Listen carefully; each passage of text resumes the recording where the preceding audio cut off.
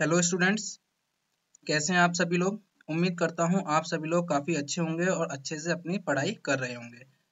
मेरा नाम है शिवम गौतम और मैं आज एक सब्जेक्ट या आप कहें एक कोर्स आपके साथ स्टार्ट करने वाला हूँ, जिसका नाम है इंजीनियरिंग मटेरियल्स तो ये पूरे में आपका सीरीज़ मतलब चलेगा, आपका पूरा कोर्स कंप्लीट कराऊँगा। काफ़ी सारे लेक्चर्स आएँगे इसमें और पूरा जानेंगे कि क्या होते हैं इंजीनियरिंग मटीरियल्स क्यों हमें ये सब्जेक्ट पढ़ना ज़रूरी है और इस सब्जेक्ट की क्या इंपॉर्टेंस है हमारी लाइफ में, वो भी हम जानेंगे। और किस किस तरीके से हमें मटेरियल सिलेक्ट करना चाहिए और मटेरियल की जो प्रॉपर्टीज़ होती हैं, वो आपकी किन किन चीज़ों पर डिपेंड करती हैं। वो सारी चीज़ें हम इस कोर्स में पढ़ेंगे और कुछ इंपॉर्टेंट मटेरियल्स के बारे में भी जानेंगे। जैसे कि आपका सेमीकंडक्टर मटेरियल्स डाइलेक्ट्रिक मटेरियल्स ठीक है? आपके अलॉयज स्टील तो इनके बारे में भी हम थोड़ा थोड़ा आइडिया लेंगे। और इन मटेरियल्स की प्रॉपर्टीज़ किन किन चीज़ों पर डिपेंड करती हैं, वो सारी चीज़ें हम देखेंगे आपके इस कोर्स में, जिसका नाम है इंजीनियरिंग मटेरियल ठीक है? यहाँ पर मेरा कॉन्टैक्ट इन्फॉर्मेशन दे रखा है, ठीक है? किसी भी स्टूडेंट को अगर डाउट आता है लेक्चर देखने के बाद तो सबसे पहले आपको क्या करना है? लेक्चर पूरा देखिए, ध्यान से समझिए। अगर कोई डाउट आता है तो आप उसे कमेंट बॉक्स में लिखिए। मैं आपका डाउट कंसीडर करूँगा और उसको नेक्स्ट वीडियो में आपको डिटेल्ड एक्सप्लेनेशन कर दूँगा उसका। अगर फिर भी आपको कोई क्वेरी है या उससे रिलेट आपको अलग से कुछ पूछना है तो आप मुझे पर्सनली मेल कर सकते हैं, मैं आपका क्वेरी को सॉल्व कर दूँगा। तो चलिए स्टार्ट करते हैं आज के इस लेक्चर को हम, जिसमें हम जानेंगे बेसिकली हमें क्या क्या पढ़ना है, कि मैं इस कोर्स में क्या क्या टॉपिक कवर करूँगा, और कैसे कैसे हम चीज़ों को आगे बढ़ाएँगे। सबसे पहले क्या पढ़ेंगे, फिर उसके बाद क्या पढ़ेंगे, सारी चीज़ें डिस्कस करेंगे, और इसमें मैं आपको आज के लेक्चर में बताऊँगा आपको इंजीनियरिंग मटेरियल्स का इंट्रोडक्शन और इसका हिस्टोरिकल पर्सपेक्टिव क्या है, और इसकी हमारी लाइफ में क्या इंपॉर्टेंस है, ये सारी बातें मैं करूँगा आपके साथ आज के इस लेक्चर में। तो चलिए लेक्चर वन को स्टार्ट करते हैं, जो कि है हमारा इंट्रोडक्शन लेक्चर तो सबसे पहले बात कर लेते हैं कि हम टॉपिक्स क्या क्या कवर करेंगे इस कोर्स में। पूरे कोर्स में हम क्या क्या टॉपिक्स पढ़ने वाले हैं, वो सारी बातें पहले कर लेते हैं।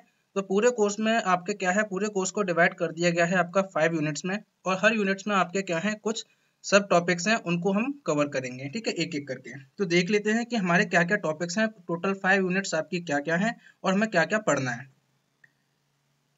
तो आप यहाँ देख सकते हैं, सबसे पहला जो आपका है, हम देखेंगे यूनिट वन जैसा कि मैंने आपको बताया कि पाँच यूनिट में आपका डिवाइड किया गया पूरा कोर्स तो यूनिट वन की अगर बात कर लेते हैं तो यूनिट वन में आपका है क्रिस्टलाइन नेचर ऑफ़ सॉलिड्स। कि सॉलिड्स का क्रिस्टलाइन नेचर क्या है? ठीक है, क्यों पढ़ेंगे इसमें? ये भी बताऊँगा मैं आपको, जब एक, जैसे जैसे हम आपके टॉपिक्स लेते रहेंगे या जैसे जैसे नई यूनिट स्टार्ट होती जाएगी, मैं आपको उसकी इंपॉर्टेंस भी बताऊँगा कि हम ये क्यों पढ़ रहे हैं। क्योंकि कोई भी चीज़ हम स्टार्ट करते हैं तो हमें पता होना चाहिए कि वो चीज़ हम क्यों पढ़ रहे हैं और उसका क्या यूज़ है हमारी लाइफ में? तो क्या होता है, जब हम ये चीज़ समझ जाते हैं तो हमें उस चीज़ में पढ़ने में इंटरेस्ट आने लगता है। ठीक है तो सबसे पहले हमें क्या पता होना चाहिए कि हम ये पढ़ क्यों रहे हैं? तो पहले देख लेते हैं कि हम यूनिट वन में क्या पढ़ेंगे? यूनिट वन में हम पढ़ेंगे क्रिस्टलाइन नेचर ऑफ़ सॉलिड्स जिसमें आपका क्या क्या पढ़ेंगे? Atomic bonding bonding in materials properties dependent on bonding कि आपकी बॉन्डिंग के बेसिस पर आपकी मटेरियल की प्रॉपर्टीज़ कैसे कैसे बदल जाती हैं? आपका आयनिक बॉन्ड है तो क्या प्रॉपर्टीज़ होंगी? कोवलेंट बॉन्ड है तो क्या प्रॉपर्टीज़ होंगी? हाइड्रोजन बॉन्ड है मेटेलिक बॉन्ड है एक्स वाई जेड कोई भी बॉन्डिंग आपका बन रहा है तो उन बेसिस पर मटेरियल की क्या क्या प्रॉपर्टीज़ होती हैं? ये सारी बातें हम जानेंगे अटोमिक बॉन्डिंग वाले सेशन में। उसके बाद हम स्टार्ट करेंगे क्रिस्टेलोग्राफी क्रिस्टलोग्राफी में हम बात करते हैं मटेरियल के आपके स्ट्रक्चर के अंदर अंदर आपके जो एटम्स हैं, वो किस तरीके से अरेंजमेंट हैं, ठीक है? उनकी ज्योमेट्री की बात करेंगे। क्यूबिक सिस्टम्स की बात करेंगे different types of cubic systems पढ़ेंगे हम।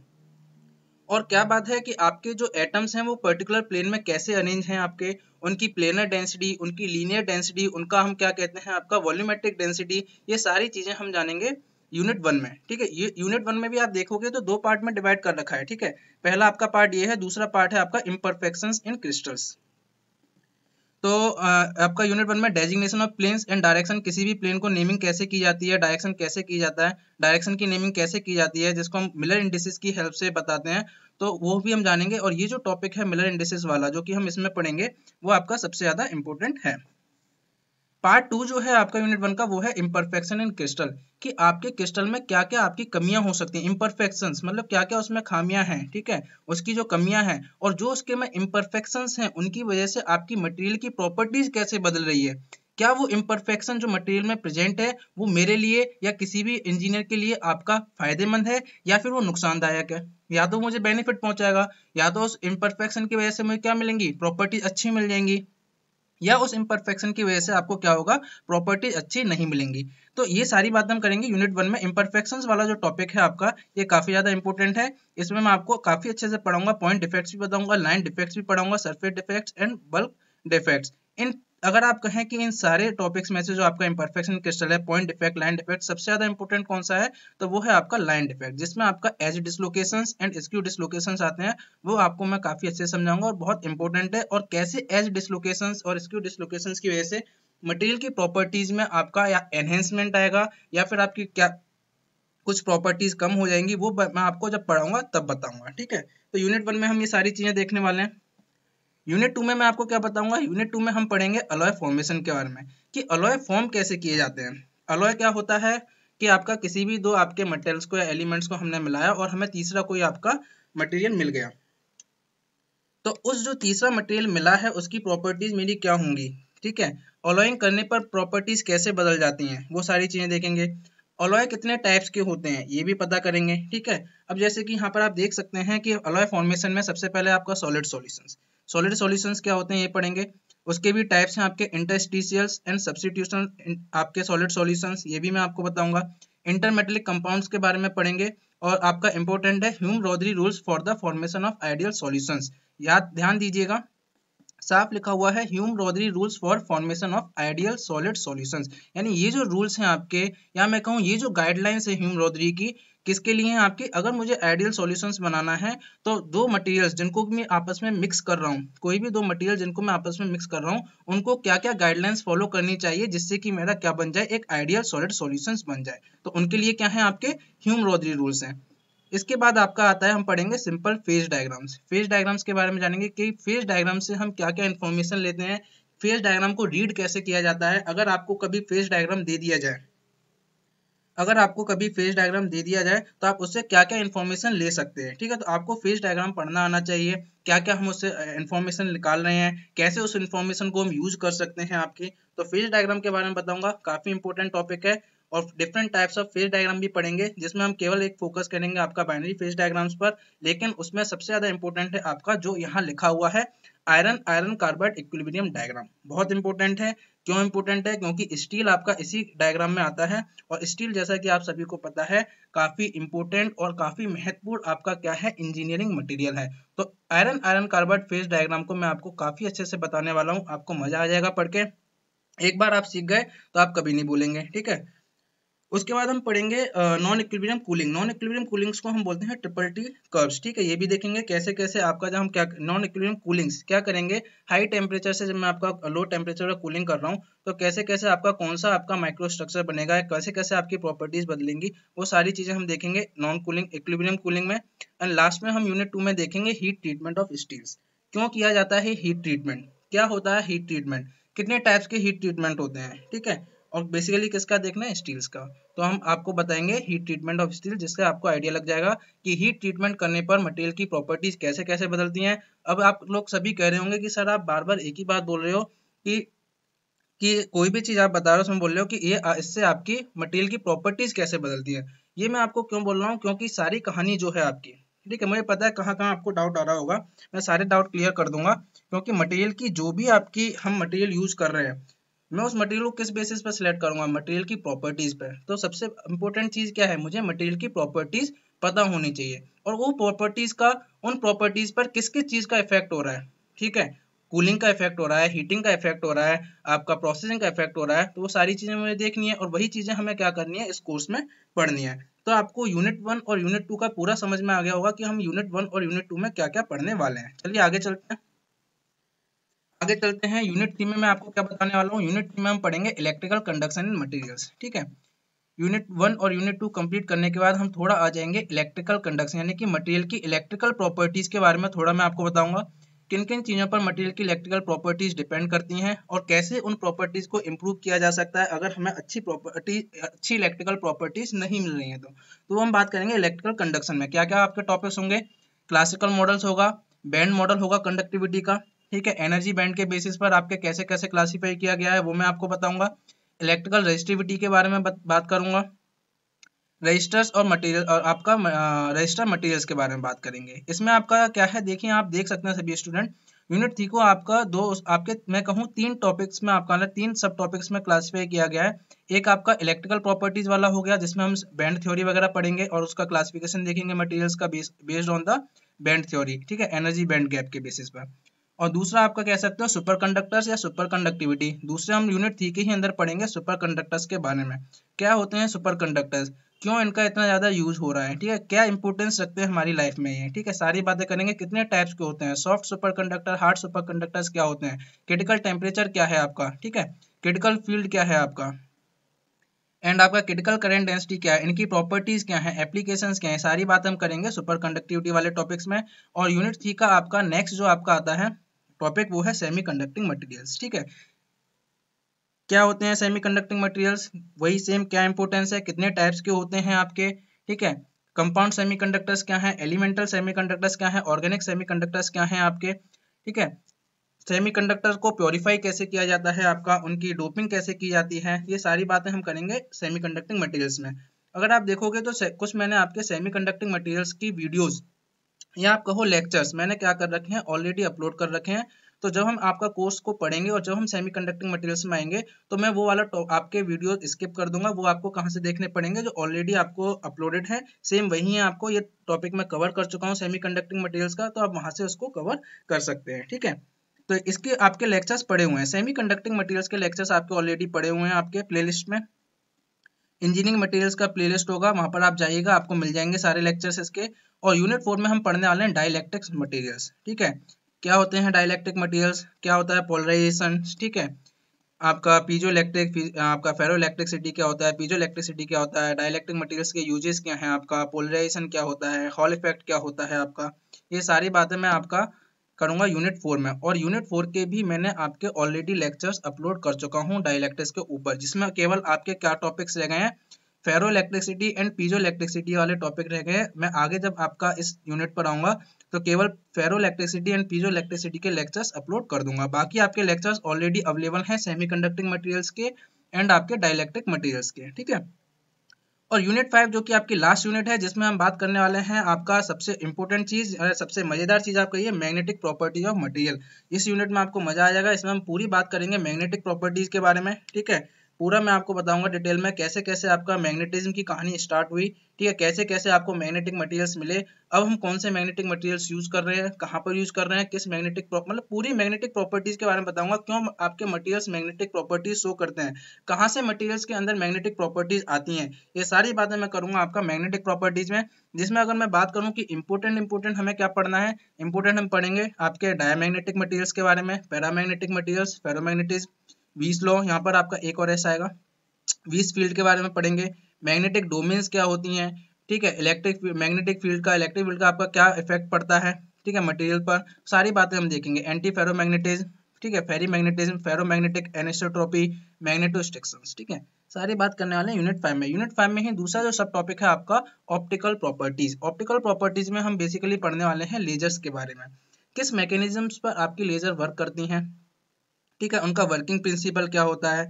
क्या होता है पॉपुलेशन इन्वर्जन ठीक है? क्या होता है आपका स्टिमुलेटेड एमिशन ठीक है, ये सारी हम बातें करेंगे आपकी ऑप्टिकल प्रॉपर्टीज़ में। ठीक है? लेजर्स कैसे बनाई जाती हैं? कितने टाइप्स की होती हैं? ये पूरी बात करने वाले हैं हम यूनिट फाइव के टॉपिक नंबर टू जिसका नेम है ऑप्टिकल प्रॉपर्टीज़ ऑफ़ मटेरियल और कैसे आपकी ऑप्टिकल प्रॉपर्टीज़ आती हैं मटेरियल के अंदर? ठीक है? लेजर से जो हमें लाइट मिलती है, वो कैसे निकलती है आपकी? ठीक है? सारी बातें करेंगे, ठीक है? आपको पढ़ के मज़ा आ जाएगा। अगर आप ध्यान से पढ़ेंगे और सुनेंगे तो आपको पूरे सेशन में, पूरे कोर्स में आपको क्या आएगा? काफ़ी कुछ सीखने को मिलेगा और आपको अच्छा लगेगा कि हाँ हमें इंजीनियरिंग मटेरियल्स के बारे में पता चला। और क्यों इसकी इंपोर्टेंस क्या है? क्यों ज़रूरी है पढ़ना? वो मैं अब आपको बताने वाला हूँ। तो उम्मीद करता हूँ आप सभी स्टूडेंट्स को पूरा सिलेबस समझ में आ गया होगा। आप क्या कर सकते हैं सिलेबस का आप यहाँ से स्क्रीनशॉट ले सकते हैं। यहाँ देख लीजिए, ये आपके unit one and unit two ये आपकी unit three unit four and unit five सभी स्टूडेंट्स को सिलेबस पूरा कंप्लीट समझ में आ गया होगा। अगर फिर भी कोई डाउट है तो आप पूछ लीजिएगा, मैं आपको बता दूँगा। ठीक है डाउट वैसे आना नहीं चाहिए। सिलेबस केवल अभी समझाया है कि क्या क्या हम पढ़ने वाले हैं पूरे कोर्स में। चलिए बात कर लेते हैं, क्योंकि कुछ स्टूडेंट पूछते हैं कि, सर जी, हमें पढ़ना क्या है? ठीक है? हमने, आपने ये तो बता दिया कि पढ़ना क्या है क्या क्या हम टॉपिक्स पढ़ेंगे। वैसे तो मैं सारी चीज़ें आपको कवर कराऊँगा लेक्चर्स में, ठीक है? अगर फिर भी किसी भी स्टूडेंट के मन में आता है कि हमें बुक्स पढ़नी है बुक्स रेफर करनी है तो आपको कौन कौन सी बुक्स पढ़नी चाहिए, वो मैं आपको यहाँ पर बताने वाला हूँ। ठीक है? तो कोई भी स्टूडेंट अगर चाहता है बुक से पढ़ना तो उन टॉपिक्स को बुक से कवर कर सकता है। ठीक है? यहाँ पर आप देख सकते हैं।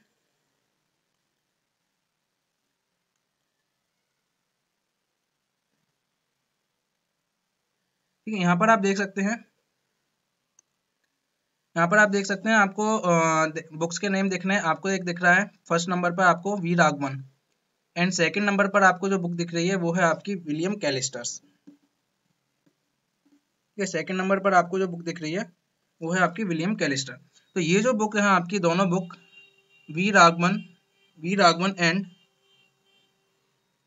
V Raghavan and William Callister. ये मैं सजेस्ट करूँगा, अगर आपको unit number one and unit number two आपको कवर करनी है तो आप इन दोनों बुक से करिए, आपको काफ़ी अच्छी क्लियरिटी मिल जाएगी। ठीक है? बाकी की आप ये कहें कि बाकी यूनिट के टॉपिक्स नहीं मिलेंगे तो आपको बाकी यूनिट के टॉपिक्स मिल जाएँगे, ऐसी बात नहीं है। विलियम कैलेस्टर में आपको यूनिट थ्री के भी टॉपिक मिल जाएँगे। ठीक है? यूनिट फोर के भी मिल जाएँगे और यूनिट फाइव के भी मिल जाएँगे। ठीक है? ये तीनों मिल जाएँगे, लेकिन अगर आपको अच्छे से समझने हैं, अच्छे से समझने हैं तो आप प्रेफर करिए ये लास्ट वाली बुक ठीक है, जिसका नाम है आपका डेकर की बुक है इलेक्ट्रिकल इंजीनियरिंग मटेरियल्स जिसमें आप अगर देखोगे तो यूनिट थ्री और यूनिट फोर जो मैंने आपको बताया और यूनिट फाइव ये काफ़ी अच्छे से आपको क्लियरिटी मिल जाएगी। काफ़ी डिटेल्ड में आपको समझाया रखा है। ठीक है, वैसे तो मैं आपको बताऊँगा, ज़रूरत पड़ेगी नहीं। आप केवल लेक्चर देखिए, सारी चीज़ें समझ में आ जाएँगी। अगर फिर भी मन कर रहा है तो आप इन तीन यूनिट के लिए ये वाली बुक प्रेफर कर सकते हैं। बाकी आपके ये तीनों यूनिट विलियम कैलिस्टर में मिल जाएँगी। अगर आपको जनरल आइडिया लेना है तो अगर यूनिट वन और यूनिट टू डिटेल में पढ़नी है तो आप V Raghavan and William Callister को क्या कीजिए फॉलो कीजिए। ठीक है, समझ में आ गया? ठीक है कौन कौन सी बुक पढ़नी है? किसी भी स्टूडेंट को अगर बुक लेनी है तो ये आप बुक प्रेफर कर सकते हो। ठीक है ये आपको इंटरनेट पे इजीली अवेलेबल हो जाएगी। आप इंटरनेट पर सर्च करोगे, आपको मिल जाएगी, ठीक है? ये भी मिल जाएगी वी रागमन और आपको विलियम कैलेस्टर भी मिल जाएगी। अगर किसी भी स्टूडेंट को नहीं मिलता है तो मुझे कमेंट लिख दीजिएगा, ठीक है? या मेल लिख दीजिएगा, मैं आपको क्या करूँगा, उनका लिंक प्रोवाइड करा दूँगा, ठीक है? आप वहाँ से क्या कर सकते हैं बुक्स को डाउनलोड कर सकते हैं और आप अपनी स्टडी कर सकते हैं, ठीक है? समझ में आ गया? क्लियर हो गया? कौन कौन सी बुक हमें पढ़नी है? ठीक है, सर जी, बिल्कुल क्लियर हो गया। अब हमें पूरा सिलेबस समझ में आ गया। कौन कौन सी बुक है, ये भी समझ में आ गया। यहाँ तक तो अभी बच्चों, बात हुई हमारी कि हमें क्या क्या पढ़ना है कौन कौन से टॉपिक कवर करने हैं, ठीक है? तो अब हम आज का लेक्चर स्टार्ट करेंगे। ठीक है, अब हम आज का लेक्चर स्टार्ट करने वाले हैं। इसका लेक्चर नंबर वन जिसमें मैं आपको इंट्रोडक्शन बताऊँगा और आपको बताने वाला हूँ कि क्यों ज़रूरी है आपका ये इंजीनियरिंग मटेरियल सब्जेक्ट को पढ़ना? या मैं कहूँ इसका दूसरा नाम मटेरियल साइंस क्यों ज़रूरी होता है मटेरियल साइंस को पढ़ना? इसकी क्या इंपोर्टेंस है? ठीक है, अगर हमें मटेरियल्स की नॉलेज नहीं होती तो क्या होता? अगर हमें मटेरियल्स की इतनी नॉलेज है तो क्या हो रहा है? कैसे मटेरियल्स ने हमारी लाइफ को चेंज कर दिया? क्या इंपोर्टेंस है इनकी? ठीक है, क्या अभी और भी मटेरियल्स आएँगे? क्या मटेरियल्स का आना उनका आपका जो इन्वेंशन है डेवलपमेंट आपका चलता रहेगा? कैसे मटेरियल्स आ रहे हैं, आपकी सारी बातें करेंगे, ठीक है? तो आपको आज के इस लेक्चर में पता चल जाएगा कि इनकी इंपोर्टेंस क्या है। तो चलिए स्टार्ट करते हैं। स्टार्ट करने से पहले मैं आपको क्या बताऊँगा, कुछ इमेजेस दिखाऊँगा। कुछ इमेजेस दिखाऊँगा जिससे आपको पूरा क्लियर हो जाएगा। आप इमेजेस देख के ही आप समझ जाएँगे कि मटेरियल्स की इंपोर्टेंस क्या है। तो सबसे पहले क्या करना है, ध्यान से इन इमेजेस को देखिए। सबसे पहले आता है आपका कि how is how is our life with materials अब हम जो अभी लाइफ जी रहे हैं, ठीक है? अभी आप जहाँ पर भी बैठ के आप लेक्चर देख रहे हो या सुन रहे हो, ठीक है, आप अपने चारों ओर पास देखिए। आप जब अपने रूम में चारों ओर पास देखोगे, आपको काफ़ी टाइप के मटेरियल्स क्या होंगे, काफ़ी टाइप के मटेरियल्स आपको दिखाई देंगे। ठीक है, पूरा का पूरा रूम आपका किसी ना किसी मटेरियल से आपका, किसी ना कोई भी ऑब्जेक्ट आप देखोगे एक्स वाई किसी ना किसी मटेरियल से आपका बना हुआ होगा और पूरा रूम आपका किसी ना किसी मटेरियल से बने हुए ऑब्जेक्ट से भरा हुआ होगा। ठीक है तो हमारी लाइफ मटेरियल्स के साथ कैसी है?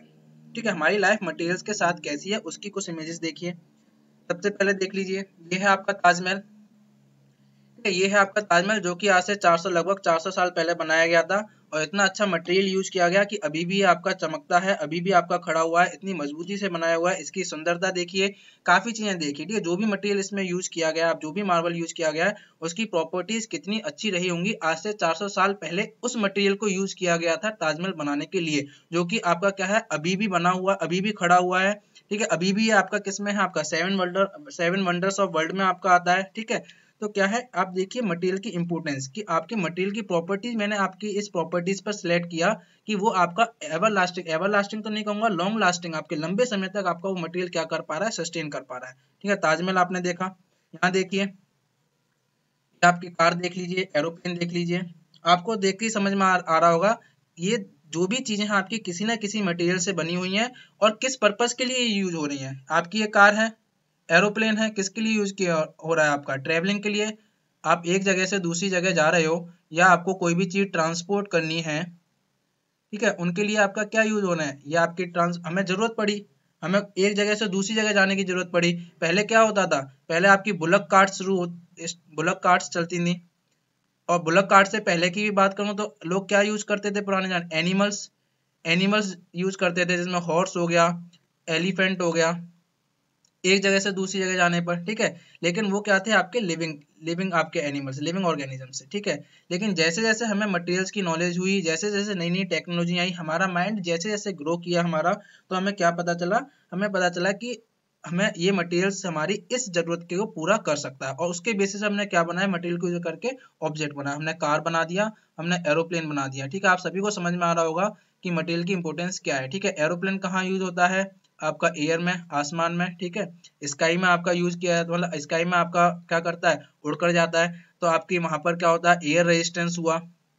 काफ़ी सारी चीज़ें होती हैं, ठीक है? तो हमें ऐसा मटेरियल सिलेक्ट करना होता है अपने ऑब्जेक्ट के लिए, जो कि हमारी क्या हो? नीड्स को पूरा कर सके, ठीक है?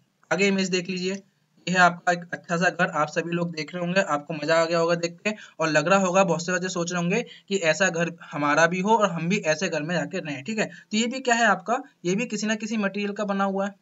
इतना अच्छा आपको घर चाहिए तो अच्छा मटेरियल लगाना पड़ेगा, ठीक है? आप देखिए, ग्लास लगा हुआ है यहाँ पर, ठीक है? कंक्रीट का ये बना हुआ है, ठीक है? तो ये क्या है आपका? ये भी किसी ना किसी मटेरियल, ये क्या है हमारी लाइफ? जो अभी हम लाइफ देखते हैं विद मटेरियल्स तो आपको समझ में आ रहा होगा। कि हमारी मटेरियल्स ने हमारी लाइफ को किस तरीके से इम्पैक्ट किया है, कैसे हमारी लाइफ को बदल कर रख दिया है। आगे देख लीजिए शिप्स चलो ठीक है एयर में तो सर आपने बता दिया था स्काई में तो आपने एरोप्लेन बता दिया था। अगर हमें वाटर में एक जगह से दूसरी जगह आपको ट्रांसपोर्ट करना है ट्रेवलिंग करनी है तो हम क्या यूज़ करेंगे? सिप्स को यूज़ करेंगे। तो हमारी वाटर में जब हमारी नीड आई कि नहीं, हमको वाटर में आपको क्या करना है? एक जगह से दूसरी जगह जाना है। थ्रू आपका किसको यूज़ करके? वाटर वेज को यूज़ करके हमें जाना है। तो हमने क्या करा? ऐसे मटेरियल्स लिए जो कि आपका लाइट इन वेट होते हैं और आपके क्या बनाए? हमने सिप्स बनाए। हमने क्या बनाए? सिप्स बनाए। तो ये भी हमारा यहाँ पर क्या हुआ? अपनी नीड के अकॉर्डिंग हमें कैसी आवश्यकता थी? हमें किन किन चीज़ों की ज़रूरत पड़ी?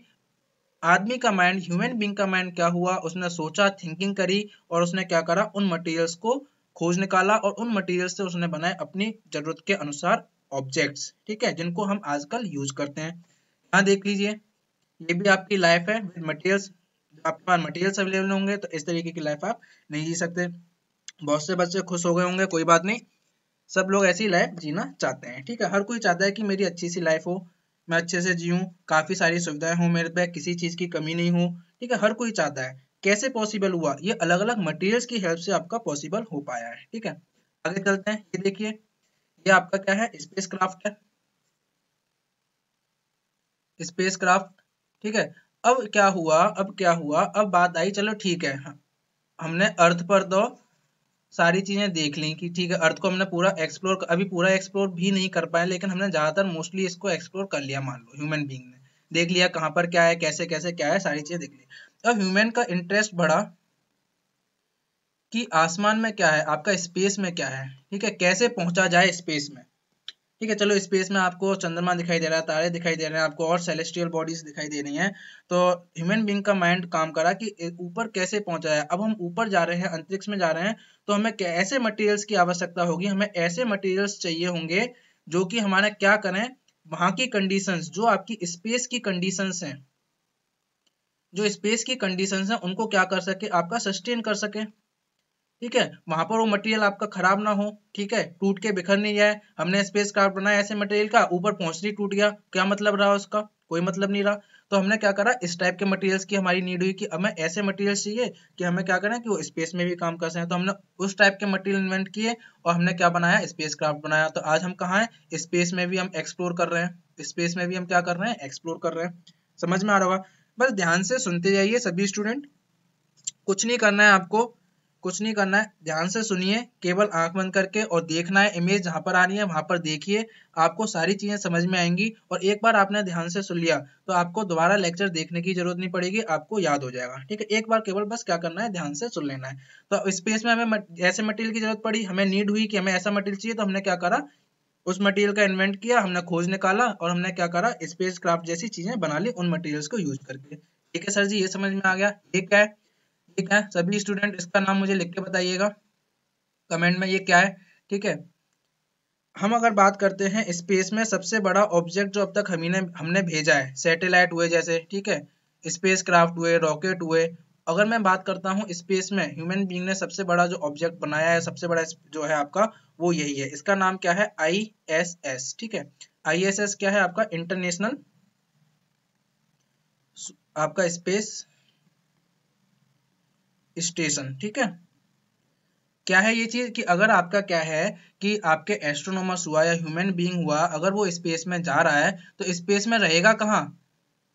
क्या हमेशा आपका इस रॉकेट में या स्पेस क्राफ्ट में बैठा रहेगा? नहीं स्पेस में जाके कहीं तो रुकेगा, कहीं तो उसके बैठने की जगह होनी चाहिए जहाँ पर वो अपना काम कर सके, हम स्पेस में जाके रिसर्च कर सकें। जो हमारी नीड ऐसी है कि नहीं, हमें स्पेस में कुछ ऐसा सिस्टम बनाना है कि वहाँ पर जाके हम रह सकें, वहाँ पर हम अपनी रिसर्च कर सकें। तो हमने क्या करा? इंटरनेशनल स्पेस स्टेशन बना दिया। ठीक है? तो ये आप यहाँ पर देख सकते हैं। ठीक है? ये आप ये आपके क्या लगे हुए हैं? ये ये क्या लगे हुए हैं? ये आपके सोलर पैनल्स हैं। ठीक है? बहुत से बच्चों के माइंड में डाउट आ रहा होगा कि एनर्जी कहाँ से ले रहा होगा? पावर कहाँ से ले रहा होगा? तो ये जो सोलर पैनल्स हैं आपके, ये एनर्जी आपके लेते हैं। यहाँ से पावर इसको पूरे को मिलती है। ठीक है? कहाँ पर है ये आपका? लो अर्थ ऑर्बिट में। ठीक है? तो ज़्यादा डेप्थ मिल जाएँगे। केवल आपको बताना है कि इम्पोर्टेंस क्या है मटेरियल की। आपको फील आ रहा होगा। आप जैसे जैसे देखते जा रहे होंगे कि हाँ मटेरियल की कुछ ना कुछ इंपॉर्टेंस तो है। सर जी, आप बात बिल्कुल सही कर रहे हो। अगर ये मटेरियल्स ना होते तो लाइफ जीना थोड़ा मुश्किल हो जाता। जी तो हम लेते हैं। वैसे मैं दिखाऊँगा आगे कि अगर मटेरियल्स ना होते तो हमारी लाइफ कैसी होती, वो भी मैं आपको बताने वाला हूँ। बट इन इमेजेस को देख के आपको मज़ा आ रहा होगा कि हाँ कुछ ना कुछ इंपॉर्टेंस तो है मटेरियल की। कुछ ना कुछ तो ये मायने रखते हैं हमारी लाइफ में। ठीक है? आगे चलते हैं। ये देख लीजिए। ये देख लीजिए। रोबोट बेस्ड है, किस पर? आर्टिफिशियल इंटेलिजेंस अरे वाह सर जी, ये तो आपकी बिल्कुल न्यू टेक्नोलॉजी वाला आपने एग्जांपल दे दिया। ठीक है मॉडर्न टेक्नोलॉजी का एग्जांपल दे दिया आपने। ठीक है, क्या यूज़ हो रहे हैं इनमें? जितनी भी प्रोसेसिंग इनका जो भी आपका अंदर आपका जो सिस्टम लगा हुआ है, जो भी इनमें आपके सर्किट लगे हुए हैं, ज़्यादातर बने हुए हैं सेमीकंडक्टर से। एक सिंपल सा एग्जांपल दे रहा हूँ। तो आपको समझ में आ गया होगा सेमीकंडक्टर्स की इंपोर्टेंस क्या है, उनकी एप्लीकेशंस क्या है। आर्टिफिशियल इंटेलिजेंस बताने की ज़रूरत नहीं है। आप खुद ही इतने कैपेबल हो, इतने खुद ही इतना जानते हो कि आर्टिफिशियल इंटेलिजेंस की क्या इंपोर्टेंस है, ये क्या चीज़ है और कैसे इसने ह्यूमन लाइफ को आपका बदल के रख दिया ठीक है? और आगे आने वाले आज से 40 से 50 साल अगर आप देखोगे तो पूरी की पूरी लाइफ ही आपकी चेंज हो जाएगी। पूरी की पूरी लाइफ चेंज क्यों हो जाएगी? क्योंकि आपके 5G आएगा 6G आएगा, इसके आगे चलता चला जाएगा और नए नए मटेरियल्स आपके आते चले जाएँगे। पूरा का पूरा, आपका पूरा का पूरा जो होगा आपका जो आपका हम कहें, जो भी आपकी आगे सेंचुरी आएँगी, वो आपकी किस पर डिपेंड करेंगी? आर्टिफिशियल इंटेलिजेंस का जमाना होगा। वो किसका जमाना होगा? आर्टिफिशियल इंटेलिजेंस का। अभी तो मैं आपको यहाँ पर पढ़ा रहा हूँ। लिख के पढ़ा रहा हूँ अभी मैं आपको। लिख कर पढ़ा रहा हूँ आपको यहाँ पर लेक्चर रिकॉर्ड करके पढ़ा रहा हूँ आपको। लेकिन जब आपकी और टेक्नोलॉजी आएँगी तो हम क्या कर सकते हैं? आपस में, क्या जब आपका फाइव वगैरह आ जाएगा तो हमारा क्या है? थ्री इमेज बन जाया करेंगी। ठीक है? हम एक दूसरे से बात करेंगे इंटरेक्ट करेंगे तो हमारी थ्री डी इमेज बन जाया करेंगी, ठीक है? तो सारी की सारी क्या है? फ्यूचर टेक्नोलॉजी है। जैसे जैसे हमें लग रहा है कि हम अपने आप को कि सारी चीज़ें आ क्यों नहीं है? देखो, ये सारी चीज़ें इसलिए आ रही हैं क्योंकि ह्यूमन बींग अपना देखना चाह रहा है कंफर्ट ठीक है ह्यूमन बींग को क्या है कि अपना कंफर्ट देखना है, उसको अपने कंफर्ट जोन को, अपने कंफर्ट को इंक्रीज करना है। इसलिए वो नई नई चीज़ें डेवलप कर रहा है नई नई टेक्नोलॉजी निकाला है। कैसे मैं अपनी लाइफ को एक अच्छी लाइफ बना सकता हूँ, ठीक है, एक अच्छी लाइफ जी सकता हूँ, ठीक है? इन सभी चीज़ की वजह से क्या हो रहा है, हमें इन चीज़ों की ज़रूरत पड़ी और इनके लिए हमें क्या करना पड़ेगा, इनके लिए हमें मटेरियल्स चाहिए होंगे। ये सारी चीज़ें किससे बनी हुई है? किसी ना किसी मटेरियल से ही तो बनी हुई है आपकी। ये सारी चीज़ें किससे बनी हुई है? किसी ना किसी मटेरियल से ही तो बनी हुई है आपकी। तो वहाँ पर हमें क्या पड़ेगी? मटेरियल्स की नीड पड़ेगी। समझ में आ गया सभी स्टूडेंट्स को? यहाँ देख लीजिए। मेडिकल साइंस से बात करूँ, या आपका, आप केमिस्ट्री से रिलेटेड ले लीजिए, ठीक है? आपके केमिकल्स हो गए ऐसे ऐसे केमिकल्स हैं आपको स्टोर करके रखने पड़ते हैं। तो उनको स्टोर कहाँ किया जाए? उनके लिए कुछ ना कुछ तो आपको कंटेनर बनाना पड़ेगा।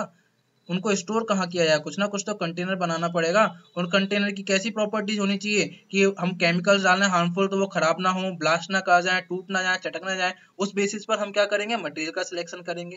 यहाँ पर भी आपको समझ में आ गया हो कि मटेरियल की हमारी क्या इंपोर्टेंस है हर फ़ील्ड में। एक्स वाई जेड कोई भी फ़ील्ड ले लीजिए आप मटेरियल हमारी लाइफ में इंपोर्टेंस रखते हैं। क्लियर हो गया सभी स्टूडेंट को? यहाँ देख लीजिए कंप्यूटर जिस पे आप अपना लेक्चर देख रहे हो मोबाइल हो गया आपका टैबलेट हो गया मोबाइल हो गया स्मार्टफ़ोन हो गए ठीक है? आप सभी लोगों को बताने की ज़रूरत नहीं है। ये सारे के सारे जितने भी प्रोडक्ट हैं किसी ना किसी मटेरियल के आपके बने हुए हैं और उन मटेरियल को सिलेक्ट कैसे किया गया है उनकी प्रॉपर्टीज़ के बेसिस पर ठीक है? उन मटेरियल को कैसे सिलेक्ट किया गया है उनकी प्रॉपर्टीज़ के बेसिस पर। तो हमें क्या करना है? ये समझ में आ, आ, आ रहा होगा आपको? आ, अब आप समझते जा रहे होंगे कि हाँ मटेरियल की इंपोर्टेंस है और मटेरियल को मैं उनकी प्रॉपर्टीज़ के बेसिस पर सिलेक्ट कर रहा हूँ यानी कि मटेरियल की प्रॉपर्टीज़ भी किसी ना किसी चीज़ों पर डिपेंड करनी होंगी। तो मुझे वो चीज़ें पता होनी चाहिए कि किस मटेरियल की क्या प्रॉपर्टीज़ है और वो प्रॉपर्टीज़ किस चीज़ पर डिपेंड कर रही है। यही तो आपका इंजीनियरिंग मटेरियल्स का खेल है। इंजीनियरिंग मटेरियल्स में यही चीज़ तो हमें पढ़नी है। मटेरियल साइंस बोलूँ या इंजीनियरिंग मटेरियल्स बोलूँ, यही चीज़ तो हमें जाननी है कि क्या प्रॉपर्टीज़ है और ये प्रॉपर्टीज़ किस किस चीज़ों पर डिपेंड कर रही हैं। कैसे आपकी मटेरियल की प्रॉपर्टीज़ बदल जाती हैं किन किन चीज़ों के बेसिस पर, वो सारी हम जानेंगे इसमें। तो इम्पोर्टेंस समझ में आ रहा है सब्जेक्ट का आप सभी लोगों को? कि मटेरियल साइंस का इंजीनियरिंग मटेरियल्स का इम्पोर्टेंस क्या है क्लियर हो गया होगा। आर देख लीजिए पीछे दिखा चुका था आपको वैसे भी। ये देख लीजिए डे टू डे लाइफ की आपकी क्या है? डे टू डे लाइफ की आपकी छोटी छोटी चीज़ें हैं, ठीक है? आपको लगता है कि ध्यान भी नहीं देते होंगे, लेकिन ये क्या है, हमारी डे टू डे लाइफ में बहुत ज़्यादा इंपॉर्टेंट इंपॉर्टेंस रखती है। बहुत ज़्यादा इंपॉर्टेंट चीज़ें आपकी। सीजर हो गया नोटबुक हो गया पेपर्स हो गए, ठीक है? एनवलप हो गया क्लिपबोर्ड हो गया कंप्यूटर हो गया मॉनिटर हो गया पेन हो गया। हर चीज़ आपकी क्या है, मुझे जैसी नीड ज़रूरत पड़ी, जैसी मुझे आवश्यकता पड़ी, वैसा मटेरियल मैंने सिलेक्ट किया और अपना प्रोडक्ट बना दिया। क्लियर हो गया? यहाँ देख सकते हैं आप, ठीक है मॉनिटर है आपका कैलकुलेटर है। कैलकुलेटर इंजीनियर्स के लिए वेरी इंपॉर्टेंट बिना कैलकुलेटर के काम नहीं होगा। ठीक है, टेलीफोन है चेयर है डेस्क है हर चीज़ किसी ना किसी मटेरियल से आपकी बनी हुई है। एक बार आप जहाँ पर भी बैठ के लेक्चर देख रहे हो, अपने चारों और एक बार नज़र घुमाइए, आपको अपने आप समझ में आ जाएगा मटेरियल की इंपोर्टेंस क्या है। जो भी चीज़ देखोगे, किसी ना किसी मटेरियल से बनी होगी आपकी। देख लीजिए, सारे एलिमेंट जो अभी तक आपके डिस्कवर किए गए हैं, वो हमने क्या करे हैं पीरियोडिक टेबल में लगा दिए हैं। पीरियोडिक टेबल आप लोगों ने पहले पढ़ा हुआ होगा क्लास इलेवन ट्वेल्थ में आपको पढ़ाया जाता है। क्या करते हैं, ये आपके बेसिक आपके सारे क्या हैं एलिमेंट्स हैं। हमें नए नए मटेरियल बनाने पर बनाते हैं तो क्या करते हैं? एक्सपेरिमेंट करते हैं। कभी हमें क्या मिलता है? अर्थ अर्थ के अंदर से जैसे मिले, वो हमारे कोई न्यू मटेरियल मिला, वो हमारा इसमें इंक्लूड कर दिया जाएगा। अब मान लीजिए हमें कोई और मटेरियल बनाना है, जिसमें मेरी मान लो क्या हो कि आपकी कार्बन की, मान लो कार्बन की भी प्रॉपर्टीज़ हो आपकी, और मान लीजिए आपकी और भी किसी की प्रॉपर्टीज़ हो, हम क्या करेंगे? उनको आपस में क्या कर देंगे? मिक्स कर देंगे। उनसे क्या बनाएँगे? अलग अलग एलिमेंट बनाएँगे मिक्स करके। तो जितने भी एलिमेंट है वो आप यहाँ देख सकते हो, और भी हमें मटेरियल चाहिए तो हम क्या करेंगे? आपस में एक दूसरे को उनकी मिक्सिंग मिक्सिंग हम कहाँ देखेंगे? अलॉय में मैं आपको बताऊँगा, ठीक है? एक बेसिक आपको आइडिया देंगे कि अलॉइंग क्या होती है, उसमें भी हम क्या करते हैं? एक मटेरियल को दूसरे मटेरियल में क्या करते हैं? मिक्स करते हैं और हमें क्या मिल जाता है? तीसरा मटेरियल मिल जाता है। समझ में आ गया? सभी स्टूडेंट को क्लियर हो गया? यहाँ तक तो मैंने आपसे बात करी कि हमारी लाइफ मटेरियल्स के साथ कैसी है। अगर हमारे पास मटेरियल्स की नॉलेज है और हम मटेरियल्स की नॉलेज रखते हैं और हमें अपनी आवश्यकता, अपनी नीड के अनुसार कौन सा मटेरियल सिलेक्ट करना चाहिए तो हमारी लाइफ कैसी होगी, वो आप सभी लोगों ने यहाँ पर देख लिया। अब कुछ हम नज़र डाल लेते हैं कि हमारी लाइफ कैसी होगी अगर हमारे पास मटेरियल्स ही ना होते। तो आपको ज़्यादा सोचने की ज़रूरत नहीं है बच्चों, बिल्कुल भी माइंड पर स्ट्रेस करने की ज़रूरत नहीं है। केवल आज से आप चार हज़ार से पाँच हज़ार साल पहले चले जाओ। आज से चार हज़ार से पाँच हज़ार साल पहले चले जाओ। आप सभी स्टूडेंट ने अपने स्कूल लेवल पर हिस्ट्री सब्जेक्ट पढ़ा होगा। ठीक है हिस्ट्री सब्जेक्ट पढ़ा होगा, जहाँ पे आपने देखा होगा कि पहले स्टोन एज आया था। फिर आपने देखा कि सर जी हाँ स्टोन एज आया था हमारा कॉपर एज भी आया। बस, अभी एक आइडिया ले लो, बस ध्यान से सुनते चले जाओ। ब्रॉन्ज एज आया सर जी, बिल्कुल सही बात कर रहे हो। ब्रॉन्ज एज आया अच्छा चलो ठीक है, बात कर लेते हैं। आयरन एज आया। आयरन के बाद स्टील आया और आपके चलते चले गए। यानी मटेरियल आप ध्यान से देखोगे, आपने जब बचपन में हिस्ट्री पढ़ा होगा तो आपने देखा होगा कि हर, जो भी हमने आपका पीरियड देखा, उसमें किसी ना किसी मटेरियल की तो इम्पोर्टेंस रही थी।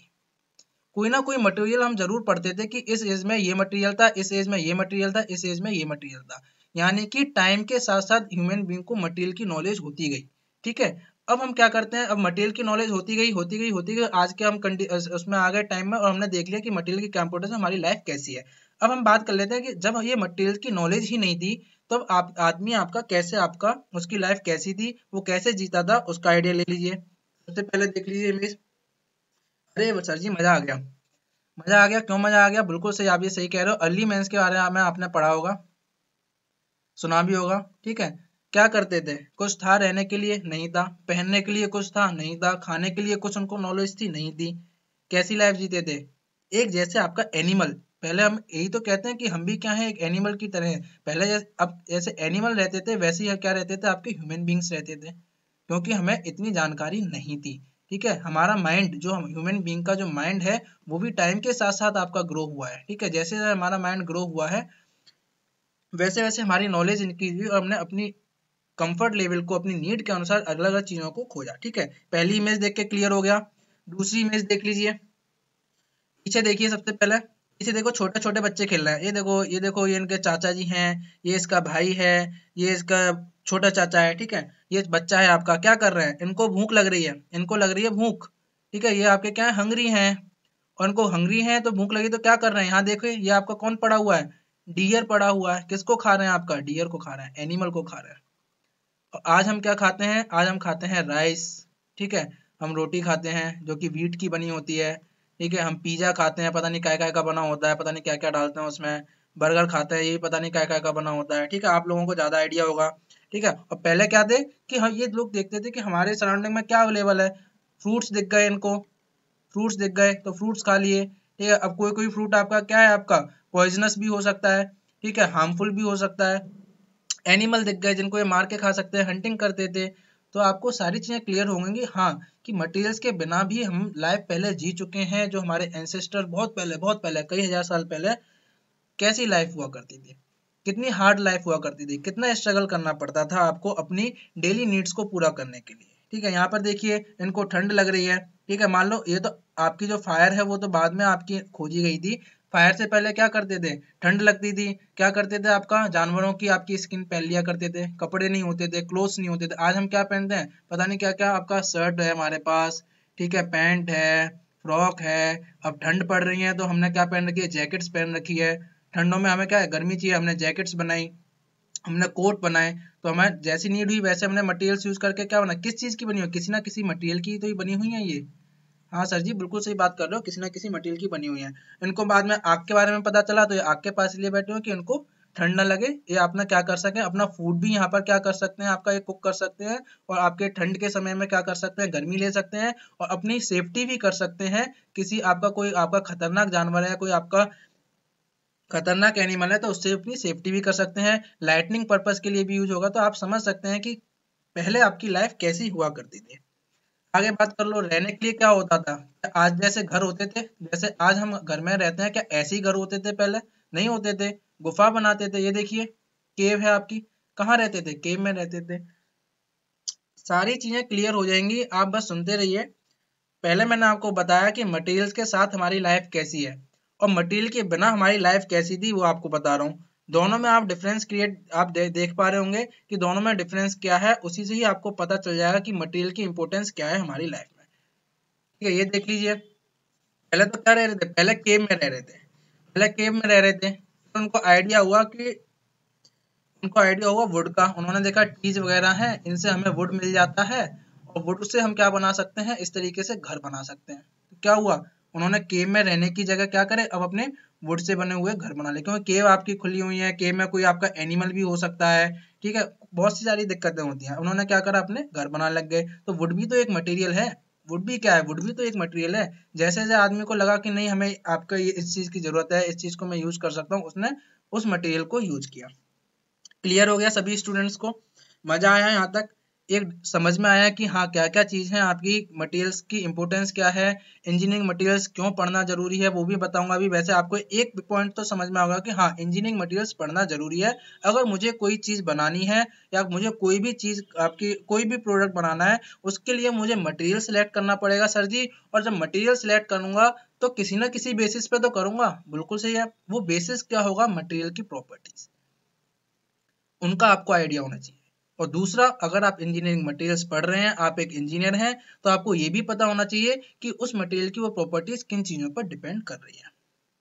ये देख लीजिए, मैंने बताया था फ़ूड के लिए हंटिंग वगैरह करते थे, ठीक है? यहाँ तक आप सभी स्टूडेंट को क्लियर हो गया सभी स्टूडेंट को कोई डाउट नहीं होना चाहिए। यहाँ तक मैंने आपको बताया कि मटेरियल्स के साथ हमारी लाइफ कैसी है और मटेरियल्स के बिना हमारी लाइफ कैसी होती, ये सारी चीज़ें आपको क्लियर हो गई होंगी। यहाँ तक कोई भी डाउट आपको नहीं रहा होगा और एक माइंड में एक पॉइंट ज़रूर समझ में आया होगा कि हाँ कुछ ना कुछ मटेरियल्स की इम्पोर्टेंस तो है हमारे जीवन में, ठीक है? हमारी लाइफ में मटेरियल्स कुछ ना कुछ इम्पोर्टेंस तो रखते हैं। अब जैसा कि मैंने आपको पीछे जो भी अभी तक बताया है, वो मैंने यहाँ पर लिख दिया है। ठीक है, वो मैंने यहाँ पर लिख दिया है। इसको मैं आपको शॉर्ट में जल्दी जल्दी बता देता हूँ और बाकी आप क्या कर सकते हैं, वीडियो को पॉज करके ये पढ़ोगे, आपको सारी चीज़ें क्लियर हो जाएँगी। यहाँ हम देख लेते हैं पहले हिस्टोरिकल परस्पेक्टिव ठीक है हिस्टोरिकल परस्पेक्टिव की बात कर लेते हैं। ठीक है हिस्ट्री से स्टार्ट करते हैं थोड़ा थोड़ा। तो जैसा कि मैंने अभी आपको पीछे बताया था कि जब हम सॉरी कि जब हम आपका हिस्ट्री में पढ़ते हैं तो हमने देखा था कि आपका हिस्ट्री स्टार्ट हो रही थी स्टोन एज से। ठीक है ह्यूमन सिविलाइजेशन की जब मैं बात करता हूँ तो स्टोन एज आया, फिर आपका कॉपर एज आया, ठीक है, मान लीजिए। तो आपने एक चीज़ ध्यान से देखी होगी कि हर एज का या हर सिविलाइजेशन का नाम क्या किया गया है, किसी ना किसी मटेरियल पर दिया गया। क्या ध्यान दिया आपने? आपका ब्रॉन्ज एज आपने सुना हुआ होगा। सॉरी ब्रॉन्ज एज सुना होगा आयरन एज सुना होगा। तो क्या है, ये किसी ना किसी मटेरियल पर आपकी इनकी नेमिंग की गई है। ये आपको ध्यान दिया होगा आपने।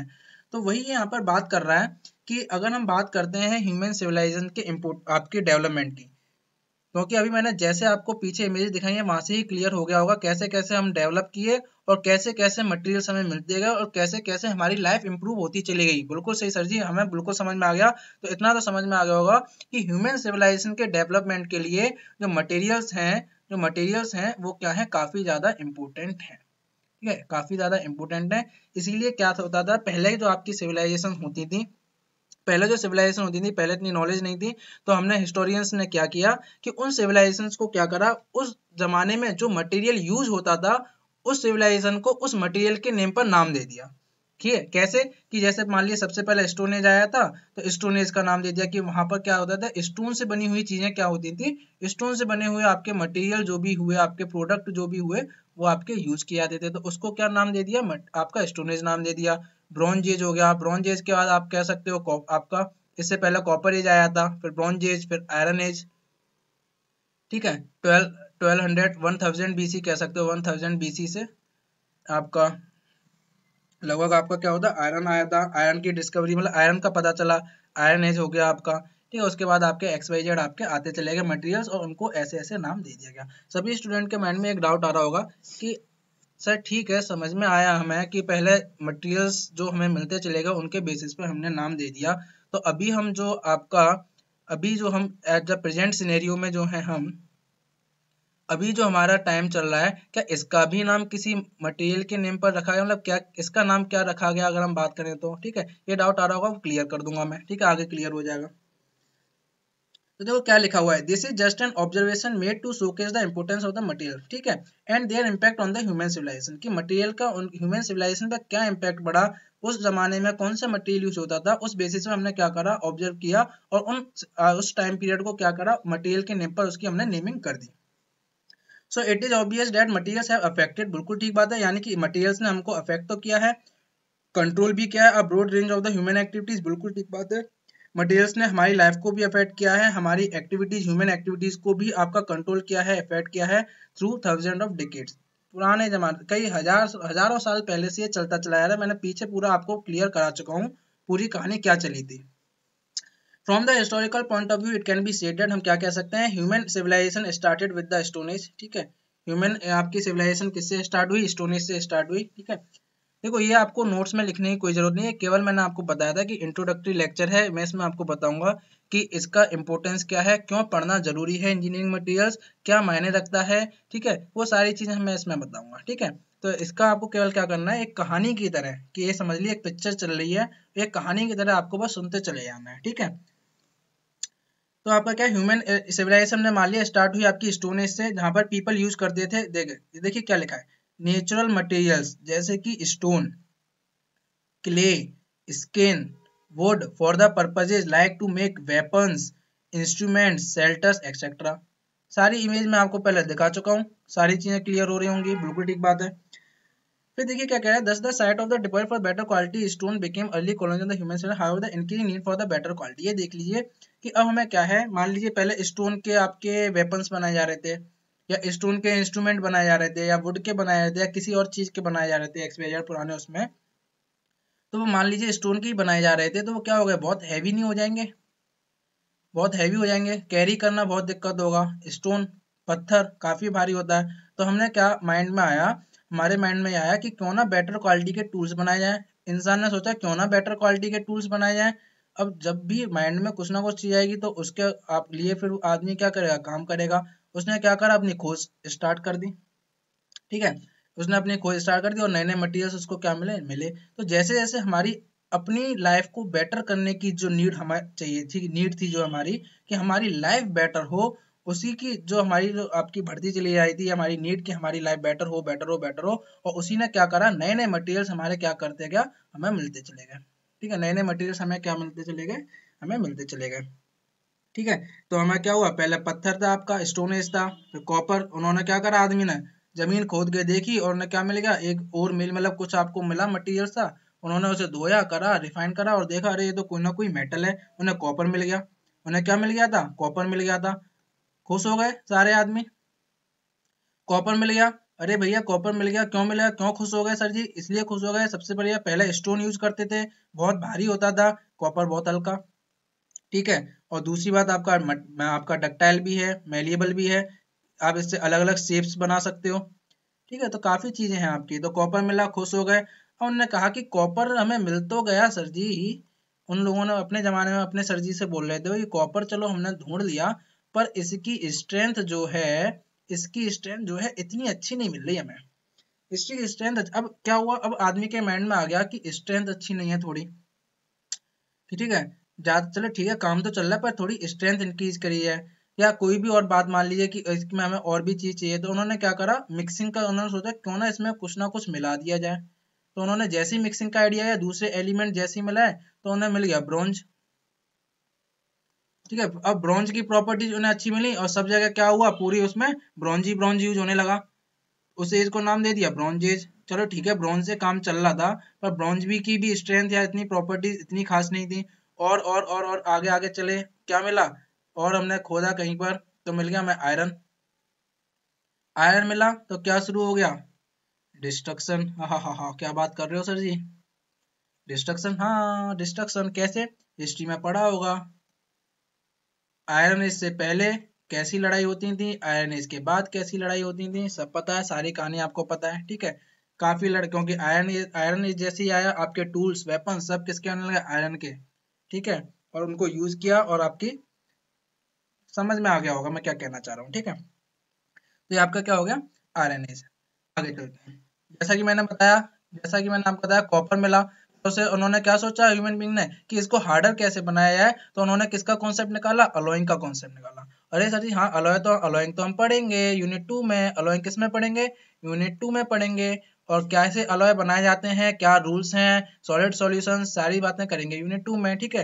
तो उस जमाने में भी क्या करा उन्होंने कि उन्होंने सोचा कॉपर चलो हम यूज़ कर रहे हैं, पर इसको हार्ड कैसे बनाया है तो उन्होंने अलोइंग करा। अलोइंग करके उन्होंने बना दिया ब्रॉन्ज ठीक है, और उसके बाद ब्रॉन्ज बनाया, तीन हज़ार, देखो टाइम पीरियड देख लो, तीन हज़ार बीसी के लगभग आपका ब्रॉन्ज बन गया, आपको पता चल गया था उनको ब्रॉन्ज के बारे में ब्रॉन्ज बना लिया था ब्रॉन्ज एज आपकी स्टार्ट हो गई थी, ठीक है, उसके बाद क्या हुआ, पीछे बताया आपको ब्रॉन्ज के बाद आयरन आया आयरन के बाद स्टील आया, ठीक है इंडस्ट्रियलाइजेशन शुरू हो गया आपका रेलवे ट्रैक वगैरह आपके सारे बनने लग गए इंजन बनने लग गए जब स्टील आया, क्यों? क्योंकि हमें आयरन से अच्छी प्रॉपर्टी स्टील में मिल रही थी, ठीक है? जो कि क्या था? एक स्ट्रॉन्ग मटेरियल है, जिसने हमें, देखो देखो क्या लिखा हुआ है। Stronger material that give advantage in the wars ठीक है? हम अब जो टूल्स बना रहे हैं वेपन्स बना रहे हैं स्टील ज़्यादातर यूज़ कर रहे हैं। मैं कहूँ स्टील के भी अलॉयज यूज़ कर रहे हैं तो वो क्या है? उनकी प्रॉपर्टीज़ में अच्छी मिल रही है। सारी चीज़ें किस पे डिपेंड कर रही है? मटेरियल सिलेक्शन पे। जो भी चीज़ मैं बना रहा हूँ, किसी मटेरियल पर है, और वो मटेरियल किस पे डिपेंड कर रहा है? वो मटेरियल डिपेंड कर रहा है आपका किस पर? प्रॉपर्टीज़ पर। ठीक है? तो देखिए कह रहा है आपका बाईस सौ बीसी के लगभग आपका आयरन स्टार्ट हो चुका था। ठीक है? काफ़ी अबुंडेंट है, काफ़ी ज़्यादा मात्रा में आपका आयरन मिला अभी भी है, ठीक है? प्रेजेंट है। काफ़ी अबुंडेंट है इसकी अवेलेबिलिटी भी इतनी लिमिटेड नहीं थी, ठीक है? तो इसने लोगों को काफ़ी ज़्यादा मतलब क्या करा? अफेक्ट किया। ठीक है? लोगों को काफ़ी ज़्यादा मतलब इन्फ्लुएंस किया, हम कह सकते हैं। ठीक है? The this commonness of the material affected every person ठीक है, जो मैंने आपको बताया इन्फ्लुएंस करा। In many aspect gaining the name इसी को नाम दे दिया गया क्या? डेमोक्रेटिक मटेरियल्स ठीक है? इन्हीं को कॉमन नेम दे दिया गया डेमोक्रेटिक मटेरियल्स क्योंकि इन मटेरियल्स ने क्या कहा था? काफ़ी इन्फ्लुएंस किया था हर एक आदमी को, हर एक पर्सन का यूज़ भी बहुत बढ़ता चला जा रहा था, इसलिए इनको नाम दे दिया गया डेमोक्रेटिक मटेरियल ठीक है? वॉर में यूज़ कर रहे हैं, उसमें यूज़ कर रहे हैं वेपन्स बना रहे हैं, ठीक है? चलो ये समझ में आ गया। अब नेक्स्ट बिग स्टेप क्या था? ह्यूमन सिविलाइजेशन का discovery of a cheap process to make the steel चलो स्टील बना रहे हैं तो स्टील को बनाने में मान लो पहले कोई ना कोई खर्चा आ रहा था। कुछ बना रहे थे, कोई आपका मेथड यूज़ कर रहे थे, पर बहुत दिक्कत हो रही थी। तो कोई ना कोई चीप प्रोसेस देखा जाए, ठीक है स्टील बनाने के लिए, जो कि हमें पता चल गया एटीन एडी में, ठीक है। तो 1850 एडी से और क्या शुरू हो गया था आपका? इंडस्ट्रियलाइजेशन इंडस्ट्रीज़ वगैरह बनी मशीन्स बनी, आपका मशीनीकरण शुरू होने लग गया। जिससे में हमने क्या बनाया? रेल रोड्स बनाए बिल्डिंग्स आपकी बनी मॉडर्न इंफ्रास्ट्रक्चर आपका नहीं इंडस्ट्रियल वर्ल्ड वही इंडस्ट्रियलाइजेशन शुरू हो गया पूरा आपका। क्या शुरू हो गया? इंडस्ट्रियल तो आप सभी स्टूडेंट को देखो, जैसे जैसे मैं आपको बताता जा रहा हूँ, आपको एक तो आइडिया लगता जा रहा होगा कि हाँ कैसे कैसे हम इवॉल्व हुए, कैसे कैसे मटेरियल पता चला और कैसे कैसे ह्यूमन सिविलाइजेशन की नेमिंग की गई मटेरियल के बेस्ड पर, ठीक है? तो आपको सारी चीज़ें क्लियर होती जा रही होंगी कि हाँ कुछ ना कुछ इंपोर्टेंस है और ये मटेरियल कुछ ना कुछ नहीं, बहुत ज़्यादा इंपोर्टेंस रखते हैं। ह्यूमन की लाइफ में। अब देखिए, अगर one of the most significant democratic material is that the number of the users बहुत सारे यूज़र्स थे, जैसे कि मैंने ऊपर बताया था, बहुत लोगों को अफेक्ट किया था, यानी कि काफ़ी ज़्यादातर लोग क्या कर रहे थे, इन मटेरियल्स को यूज़ कर रहे थे। कौन से डेमोक्रेटिक मटेरियल्स आपके आयरन स्टील वगैरह कॉपर ब्राउन ये जो भी थे आपके, इनको यूज़ कर रहे थे। तो क्या लिख रहा है? Thus there has been a need ठीक है? एक नीड बनी रही है फॉर ह्यूमन के लिए and materials for the centuries ठीक है? विच स्टिल गोइंग जो कि क्या है? अभी तक आपकी चल रही है, अभी भी स्ट्रॉन्ग है। अभी भी हम चाहते हैं अच्छे अच्छे मटेरियल्स हमें मिले और हम और उनको क्या कर सकें इम्प्रूव कर सकें और हम अपने कंफर्ट लेवल को बढ़ा सकें। ठीक है ह्यूमन बींग क्या चाहता है? अपने कंफर्ट लेवल को बढ़ाना चाहता है। ठीक है तो ये नीड अभी भी आपकी क्या है? कंटिन्यू है, अभी भी आपकी चल रही है। क्लियर हो गया? जैसा कि मैंने कहा था कि सभी स्टूडेंट को लग रहा होगा कि ठीक है, आपने कॉपरेज बताया आयन एज बताया, अभी हम किस एज में हैं? तो देखो क्या लिखा हुआ है we are presently in space age हम किसमें हैं? स्पेस एज में। याद रखिएगा सभी स्टूडेंट अभी हम किसमें हैं? स्पेस एज में है, जिसमें क्या है आपके? बहुत सारे टेक्नोलॉजिकल डेवलपमेंट्स हुए हैं और ये टेक्नोलॉजिकल डेवलपमेंट्स क्यों हो रहे हैं? अलग अलग मटेरियल्स मिलते जा रहे हैं हमें, ठीक है? देखिए क्या लिखा हुआ है mark by many technological developments towards development materials देखिए। Development materials resulting in stronger and light materials हमें ऐसे मटेरियल चाहिए थे जो स्ट्रॉन्ग हो, जैसे मैंने आपको पहले स्पेस क्राफ्ट दिखाया था और मैंने आपको आईएसएस का भी दिखाया। हमें कैसे मटेरियल चाहिए थे वहाँ पर? हमें मटेरियल्स चाहिए थे जो कि वहाँ की कंडीशन को सस्टेन कर सकें। मज़बूत हो, हल्के हों। भारी मटेरियल को ले जाने में कैरी करने में भी दिक्कत होगी। हमें चाहिए हल्के हों और मज़बूत हों, ठीक है? बेस्ट एग्जांपल देता हूँ आपको। लाइट एंड स्ट्रॉन्ग मटेरियल का। ग्राफीन आपने नाम सुना होगा, ठीक है? काफ़ी लाइट है और काफ़ी स्ट्रॉन्ग मटेरियल है ये, ठीक है? ठीक है ग्राफिन आपका इन्वेंट हो चुका है ग्राफिन के बारे में पता चल चुका है आपका, ठीक है? तो ये आपका मटेरियल मैंने बता दिया। अब देखो, जैसे बोल रहा है, आपके क्या हुआ? कंपोजिट्स हो गए इलेक्ट्रॉनिक मटेरियल्स हो गए, जैसे सेमी कंडक्टर्स ए वाला एग्ज़ाम्पल दिया था। सब सेमी कंडक्टर्स यूज़ हो रहा है उसकी प्रोसेसिंग में। Materials for space way like high temperature ceramics वहाँ के टेम्परेचर को बायो मटेरियल्स ठीक है? तो आप, अभी हम किस एज में है? अभी हमें स्पेस एज में ये बस पॉइंट आपको याद रखना अभी तक मैंने आपको जितना बताया कि कैसे कैसे आपका एवोल्यूशन हुआ मटेरियल्स का, कैसे कैसे ह्यूमन बींग्स ने नए नए मटेरियल्स आपके खोज निकाले, उनकी समरी देखो यहाँ लिखी हुई है। अगर मैं शॉर्ट में बात करूँ तो मटेरियल आपका कोई भी जो टेक्नोलॉजी है, उसका क्या होते हैं? बेस बनते हैं, उसका क्या है? फाउंडेशन है। क्या लिखा है? Material constitute the foundation of the technology क्योंकि जितनी भी टेक्नोलॉजी जो नई नई निकल के आ रही है, वो क्यों निकल रही है? मटेरियल्स की वजह से। जैसी मुझे नीड पड़ रही है, मुझे उसके अकॉर्डिंग मटेरियल चाहिए होगा। ठीक है, मुझे कोई भी नीड पूरी करनी है, उसको बनाना है कंप्लीट मटेरियल किसी ना किसी चीज़ मटेरियल की बनेगी तो मटेरियल तो मुझे पता होना चाहिए। बिल्कुल ठीक बात है। तो the history of human civilization evolve from the देखिए स्टोन एज से आपकी इवॉल्व हुई ब्रॉन्ज एज आया आयरन एज आया स्टील एज आया, अब क्या चल रहा है? स्पेस एज चल रहा है। कंटेम्पोरेनियस विद इलेक्ट्रॉनिक एज बिल्कुल सही बात है। स्पेस एज तो चल ही रहा है। साथ में आपका क्या चल रहा है आपका? साथ में चल रहा है आपका इलेक्ट्रॉनिक एज दोनों साथ साथ चल रहा है। ये कंटेम मतलब समकालीन कंटेम्पोरेनियस मतलब समकालीन। ठीक है, दोनों आपके साथ साथ चल रहा है। Each age is marked by the advent of certain material बिल्कुल जो मैंने बताया, हर एक एज में क्या था, किसी ना किसी मटेरियल की इंपोर्टेंस रही है, और उसी मटेरियल के बेसिस पर उसको क्या कर दिया गया, नाम दे दिया गया आयरन एज में हमने टूल्स बनाए यूटेंसिल्स बनाए स्टील एज में हमने रेल रोड्स बनाए इंस्ट्रूमेंट्स बनाए इंडस्ट्रियल रिवॉल्यूशन में आया, मशीनीकरण किया हमने। ठीक है? Space broad the materials for space में हमने स्ट्रॉगर और लाइट मटेरियल स्ट्रक्चर जैसे कंपोजिट मटेरियल्स यूज़ करें, ठीक है? इलेक्ट्रॉनिक एज में हम सेमीकंडक्टर यूज़ कर रहे हैं। एआई वाला एग्जांपल दिया था आपको, ठीक है?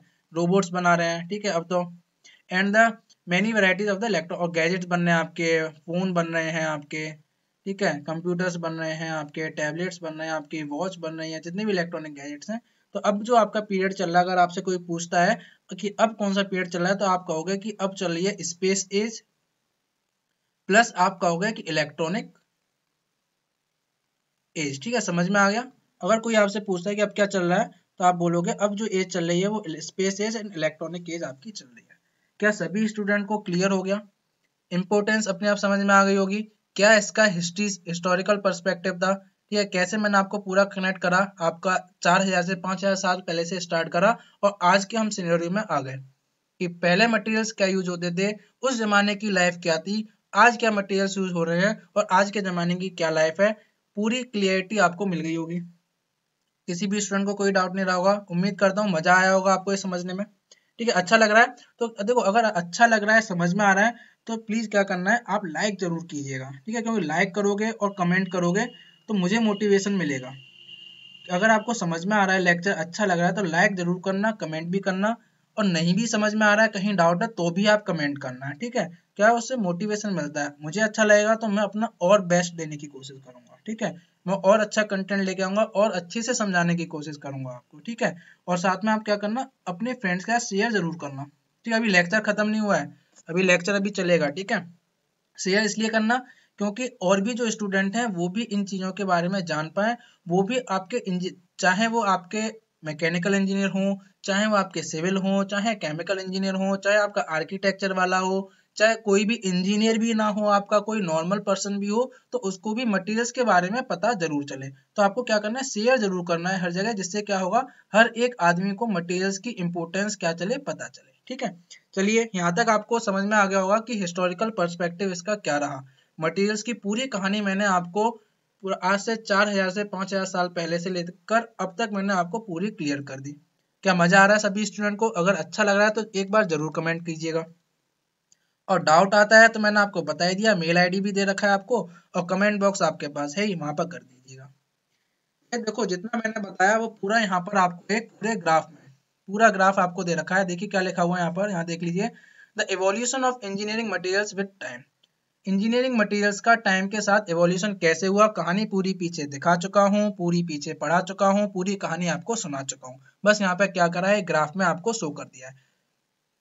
ठीक है, देख लीजिए, यहाँ देखिए आपका वाई एक्सिस पर क्या दे रखा है रिलेटिव इंपोर्टेंस कि उनकी इंपोर्टेंस कितनी है। ठीक है, ध्यान दीजिए ग्राफ की स्टडी करना आपको आना चाहिए। यहाँ देखिए एक्स एक्स डेट ठीक है।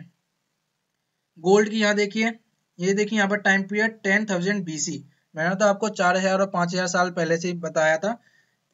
यहाँ देखिए, टेन थाउज़ेंड बीसी फिर पाँच हज़ार बीसी फिर आपका आज का दो हज़ार बीस अब तो दो हज़ार इक्कीस आ गए या इक्कीस भी लिख सकते हो, ठीक है? जब बाईस में आप लेक्चर देख रहे हो तो दो हज़ार बाईस लिख लेना। तेईस में देख रहे हो तो तेईस में लिख लेना। जहाँ जब देख रहे हो तब लिख लेना, ठीक है?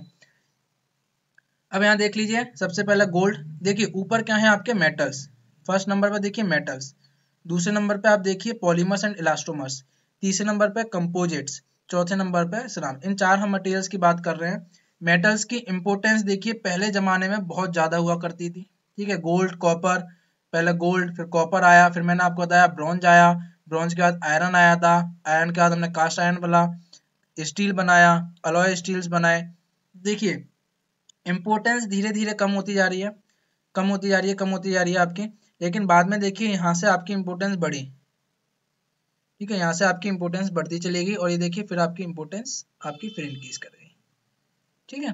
फिर यहाँ देख लीजिए आपका पॉलीमर्स है। पॉलीमर्स गए बैकेलाइट आया नायलॉन आया एक्स आपके पॉलिस्टर आए। ठीक है हाई टेम्परेचर पॉलीमर्स आ रहे हैं। ठीक है तो ये आपके, इनका ग्राफ बना। इसका देख लीजिए कंपोजिट कंपोजिट भी आपके, जिसमें आपके G G F P R P हो गया, आपके केवलार हो गया। ठीक है मेटल मैट्रिक्स हो गए सेरामिक कंपोजिट्स हो गए। फिर यहाँ देख लीजिए stone flint ceramics glass cement refractories ठीक है पोर्टलैंड ठीक है तो आपने एक कॉमन चीज़ नोट किया, पहले इंपोर्टेंस स्टार्टिंग में ज़्यादा थी, फिर कम हुई, फिर लेकिन फिर आपकी क्या हुई, दोबारा आपकी इंक्रीज करने लगी, ठीक है तो सिंपल ये आपका ग्राफ है कि आपका ज़्यादा कुछ ध्यान नहीं देना है, केवल आपको बताना था कि मटेरियल्स का एवोल्यूशन कैसे हुआ टाइम के साथ साथ वो आप यहाँ पर एक बार स्टडी कर सकते हो, देख सकते हो। क्लियर हो गया सभी स्टूडेंट्स को? क्लियर हो गया? बिल्कुल सर जी, पूरा क्लियर हो गया हिस्ट्री तो पूरी क्लियर हो गई, क्या समझाया, क्या था? पूरा क्लियर हो गया कि हाँ कि लाइफ पहले कैसी थी, अब लाइफ कैसी है, क्या इंपोर्टेंस रखते हैं, ये भी समझ में आया अब बात कर लेते हैं मटेरियल साइंस की, ठीक है? मटेरियल साइंस क्या है आपका? ठीक है? कहीं कभी कभी हम इंजीनियरिंग क्योंकि मटेरियल साइंस में हम इंजीनियरिंग मटेरियल्स के बारे में पढ़ते हैं और उनकी प्रॉपर्टीज़ के बारे में पढ़ते हैं तो ये हो जाता है, ठीक है? इसलिए ना ऑब्लिक करके इंजीनियरिंग मटेरियल्स लिख दिया, लेकिन यहाँ पर आपकी मटेरियल साइंस की बात कर लेते हैं, क्या चीज़ है, ठीक है? अगर आपके एग्ज़ाम में आता है तो कुछ आपके पास डेफिनेशन या कुछ मटेरियल होना चाहिए लिखने के लिए। इसलिए यहाँ पर लगाया, यहाँ पर आप क्या कर सकते हैं, यहाँ से आप, यहाँ से आप नोट्स बनाना स्टार्ट कर सकते हैं, ठीक है? नोट्स नहीं बनाने हैं तो आप क्या करिए स्क्रीनशॉट लीजिए हर एक स्लाइड का और उनको क्या कर लीजिए, एक पीडीएफ में कन्वर्ट कर लीजिएगा। मतलब आपके पास कुछ ना कुछ मटेरियल होना चाहिए लास्ट टाइम के पढ़ने के लिए, ठीक है? अब देखो मटेरियल साइंस क्या कह रहा है? As engineering material constitute the foundation of बिल्कुल बताया था कि हाँ मटेरियल्स आपकी टेक्नोलॉजी के फाउंडेशन बनते हैं बेस बेस बनते हैं, बिना मटेरियल्स के आपकी टेक्नोलॉजी इवॉल्व कर ही नहीं पाएगी। बिल्कुल ठीक है, पूरा पीछे यही देखते हुए आ रहे हैं हम। Sorry it is not only necessary but a must to understand ठीक है, हमें ये भी समझना चाहिए कि मटेरियल देखो how materials behave like they do सबसे इंपॉर्टेंट बात यही है कि मटेरियल जो बिहेव कर रहा है, जिस, उसकी जो प्रॉपर्टी वो ऐसा क्यों कर रहा है? है मटेरियल जैसा बिहेव कर रहा है, वो ऐसा क्यों कर रहा है? क्यों कर रहा है? क्यों कर रहा है? कुछ ना कुछ तो माइंड में आ रहा होगा। हाँ सर बिल्कुल आ रहा है। बिल्कुल आ रहा है क्योंकि अपनी प्रॉपर्टीज़ के अकॉर्डिंग किसके अकॉर्डिंग प्रॉपर्टीज़ मटेरियल ऐसा बिहेव क्यों कर रहा है? ठीक है, क्यों? क्योंकि उसकी प्रॉपर्टीज़ ऐसी हैं। वाई दे डिफरेंट प्रॉपर्टीज़ वो प्रॉपर्टीज़ में क्यों डिफर करते हैं? हर मटेरियल की अपनी कुछ ना कुछ प्रॉपर्टीज़ होती हैं। ऐसा क्यों होता है? क्यों होता है, क्यों होता है, ये भी, इसका मतलब क्या है? प्रॉपर्टीज़ भी किसी ना किसी चीज़ पर डिपेंड कर रही होंगी। प्रॉपर्टीज़ भी किसी ना किसी चीज़ पर डिपेंड कर रही होंगी। जी हाँ बिल्कुल करती हैं, वो मैं आपको बताने वाला हूँ, ठीक है?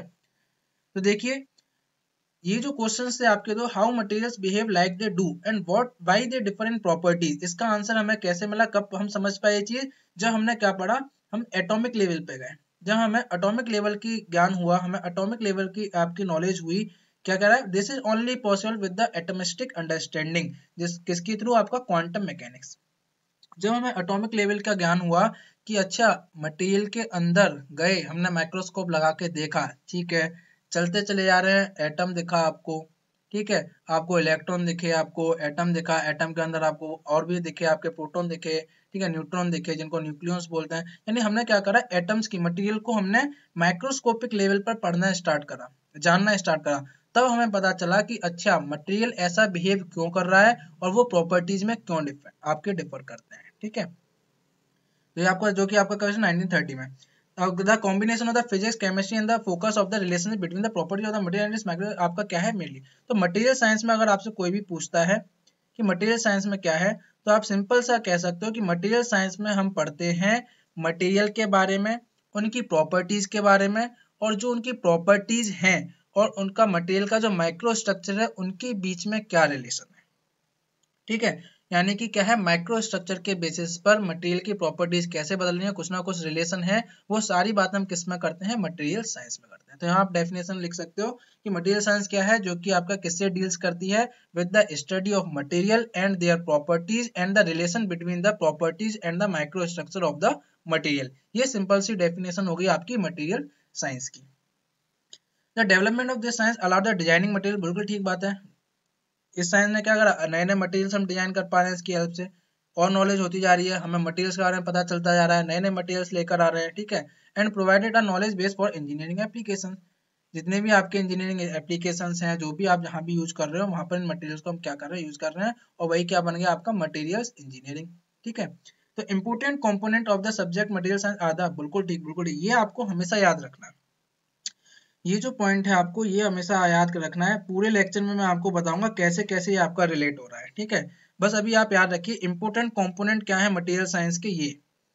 पहला है, पहला नंबरिंग नहीं कर रहा, पर आप याद रख लो स्ट्रक्चर नंबरिंग में बताऊँगा आपको याद कैसे रखना है, ठीक है? इसलिए नंबरिंग नहीं कर रहा, मैं आपको बताऊँगा याद कैसे करना है। स्ट्रक्चर प्रॉपर्टीज़ प्रोसेसिंग और परफॉर्मेंस सभी स्टूडेंट से रिक्वेस्ट है, ये चार पॉइंट आप मत बोलना, ठीक है?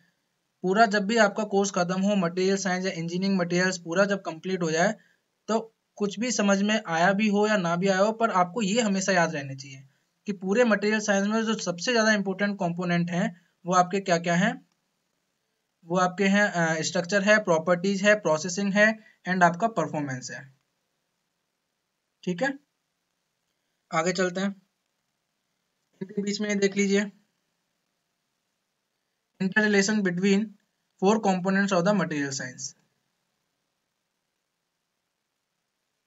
ये क्या है आपका स्ट्रक्चर यहाँ दे, यहाँ से स्टार्ट करिए। यहाँ से स्टार्ट करिए।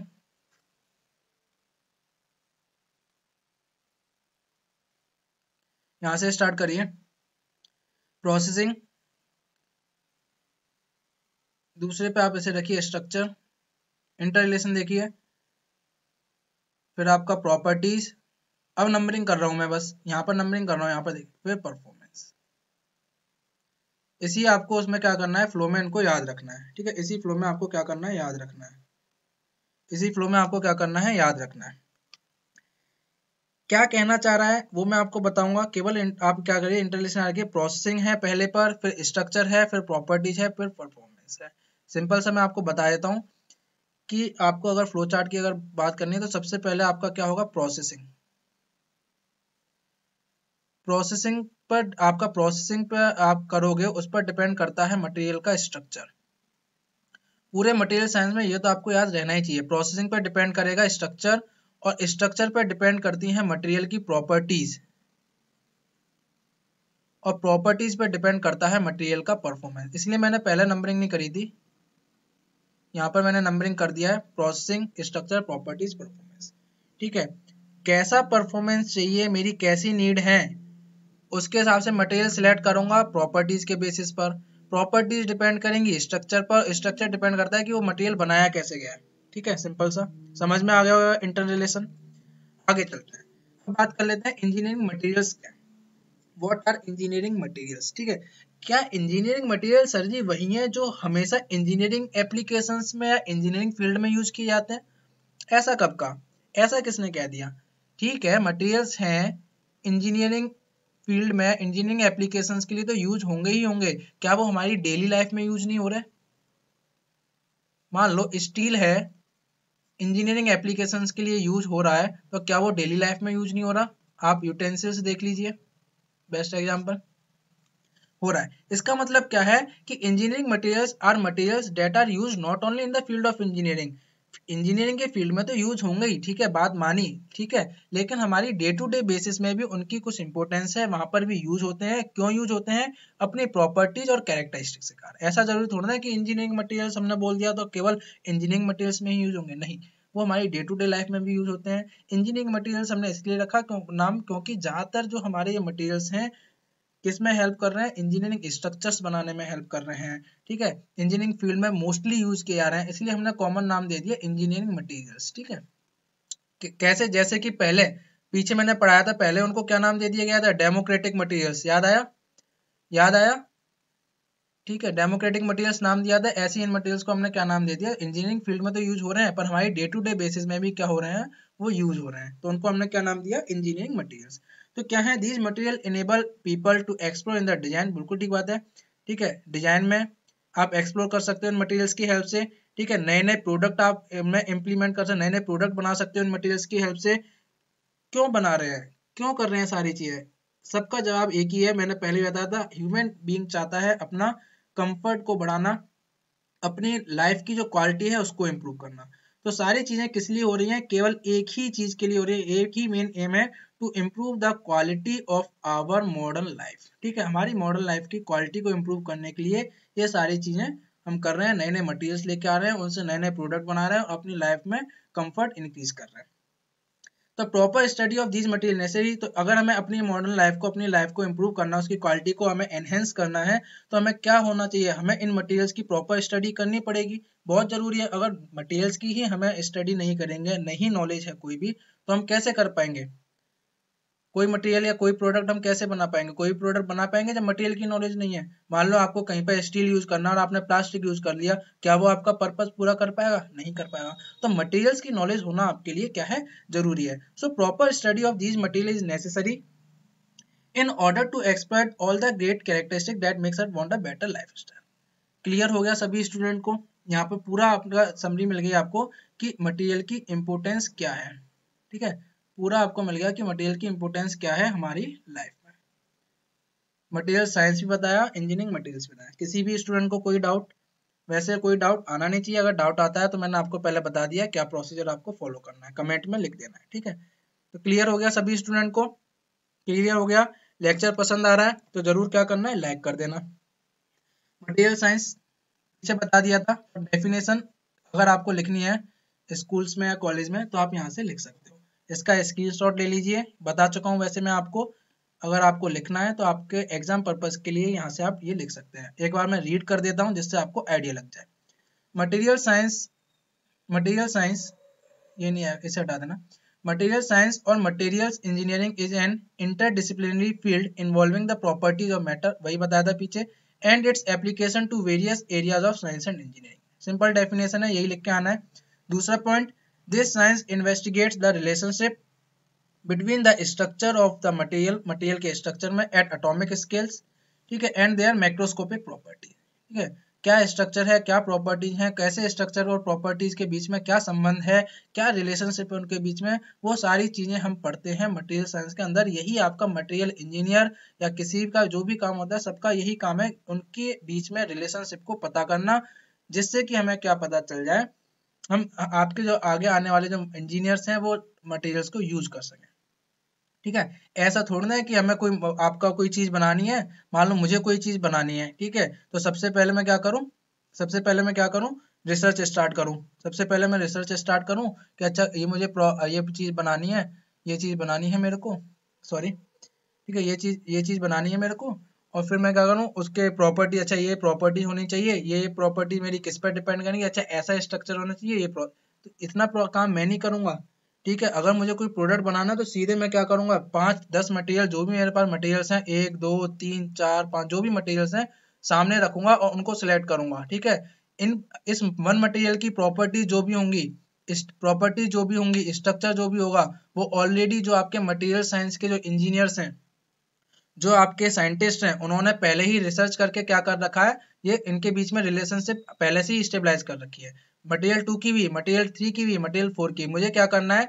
उन्होंने प्रॉपर्टीज़ और स्ट्रक्चर में बता दिया कि मटेरियल वन में ये प्रॉपर्टीज़ है मटेरियल टू में ये प्रॉपर्टी है, ठीक है? तो उसके बाद में क्या करना है? केवल मटेरियल को सिलेक्ट करना है, ठीक है? ये हमारा काम होता है।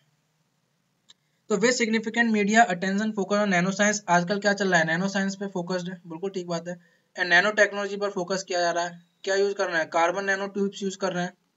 पढ़ा होगा आपने, ठीक है? कार्बन नैनो ट्यूब्स के बारे में। ठीक है? एक कॉन्सेप्ट भी आपका, आपने नाम सुना होगा स्पेस एलिवेटर देखो बस, आपको बस एग्जांपल इसलिए दे रहा हूँ कि आप बस कनेक्ट कर पाए, ठीक है? नैनो टेक्नोलॉजी का नाम आया तो मैंने आपको बता दिया कार्बन ट्यूब चल रहा है। ग्राफीन आपको एक नाम बताया था ना स्ट्रॉन्गेस्ट और लाइटेस्ट मटेरियल है आपका। दूसरा आपका स्पेस एलिवेटर बता दिया कि आप स्पेस एलिवेटर बनाओगे। अभी हम किससे जाते हैं? स्पेस क्राफ्ट यूज़ करते हैं।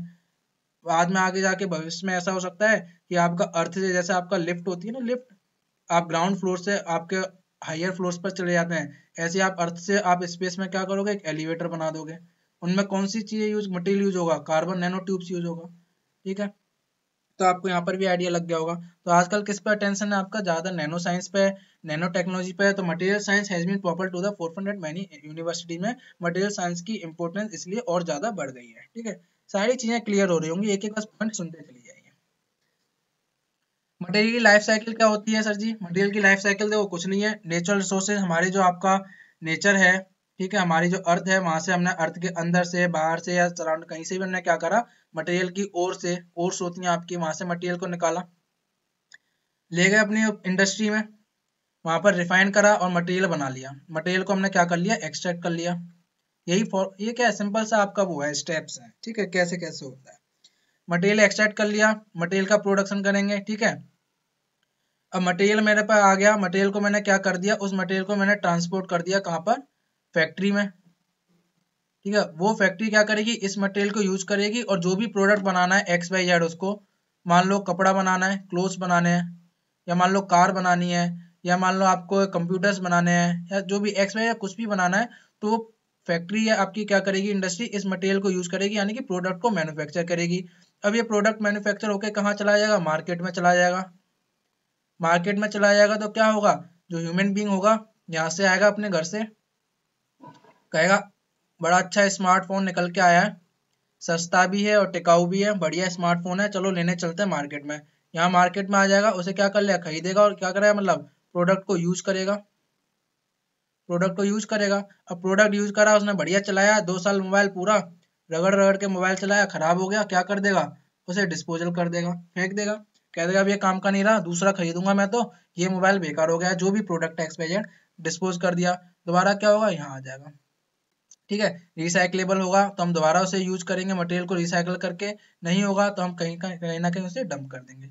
इन सारी चीज़ों में क्या होता है, देखिए, कुछ एमिशंस भी होंगे, निकलेंगे, देखिए। हमें अपने एनवायरनमेंट का भी तो ध्यान रखना है। चलो ठीक है मटेरियल बना रहे हैं। तो हमें अपने एनवायरनमेंट का भी तो ध्यान रखना है कि हमारा एनवायरनमेंट को नुकसान ना हो।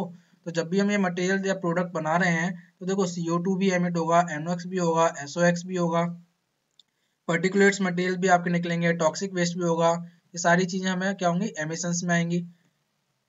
इन चीज़ों से क्या होगा? हमारे एनवायरनमेंट पर असर होगा। तो अब क्या करना है हमें? हमें ऐसी टेक्नोलॉजी लानी है कि ये सारी चीज़ें एमिशंस हम क्या कर सकें? कम कर सकें। हमारा काम भी चल जाए एनवायरनमेंट को भी हम प्रोटेक्ट कर सकें। तो सारी चीज़ें हमें क्या करनी है? देखते हुए चलनी है, ठीक है? सारी चीज़ें हमें देखते हुए चलनी है, ठीक है? समझ में आ गई प्रोडक्ट की लाइफ साइकिल किसी भी मटेरियल की लाइफ साइकिल आपकी क्या होती है? नीचे देख लिया material creation product manufacture product को यूज़ करा and number of option for the product disposal at the end of the life clear हो गया सभी स्टूडेंट को? जी सर बिल्कुल क्लियर हो गया। ये चार कंपोनेंट मैंने अभी आपको पीछे बताए थे। अब एक अलग से स्लाइड में इसलिए रख दें क्योंकि आपको याद रखना है। पूरे इंजीनियरिंग मटेरियल्स में या मटेरियल साइंस में ये चार कंपोनेंट आपको नहीं भूलने हैं। इसका स्क्रीनशॉट ले लीजिए या माइंड में इस पिक्चर को सेट कर लीजिए। पहला प्रोसेसिंग बताया, दूसरा स्ट्रक्चर बताया सर जी आपने, तीसरा प्रॉपर्टीज़ बताया, चौथा बताया परफॉर्मेंस यानी कि मतलब क्या है, मैं आपको लेकर चलता हूँ फोर टू वन वन से फोर नहीं फोर टू वन मान लीजिए आपको कोई प्रोडक्ट बनाना है।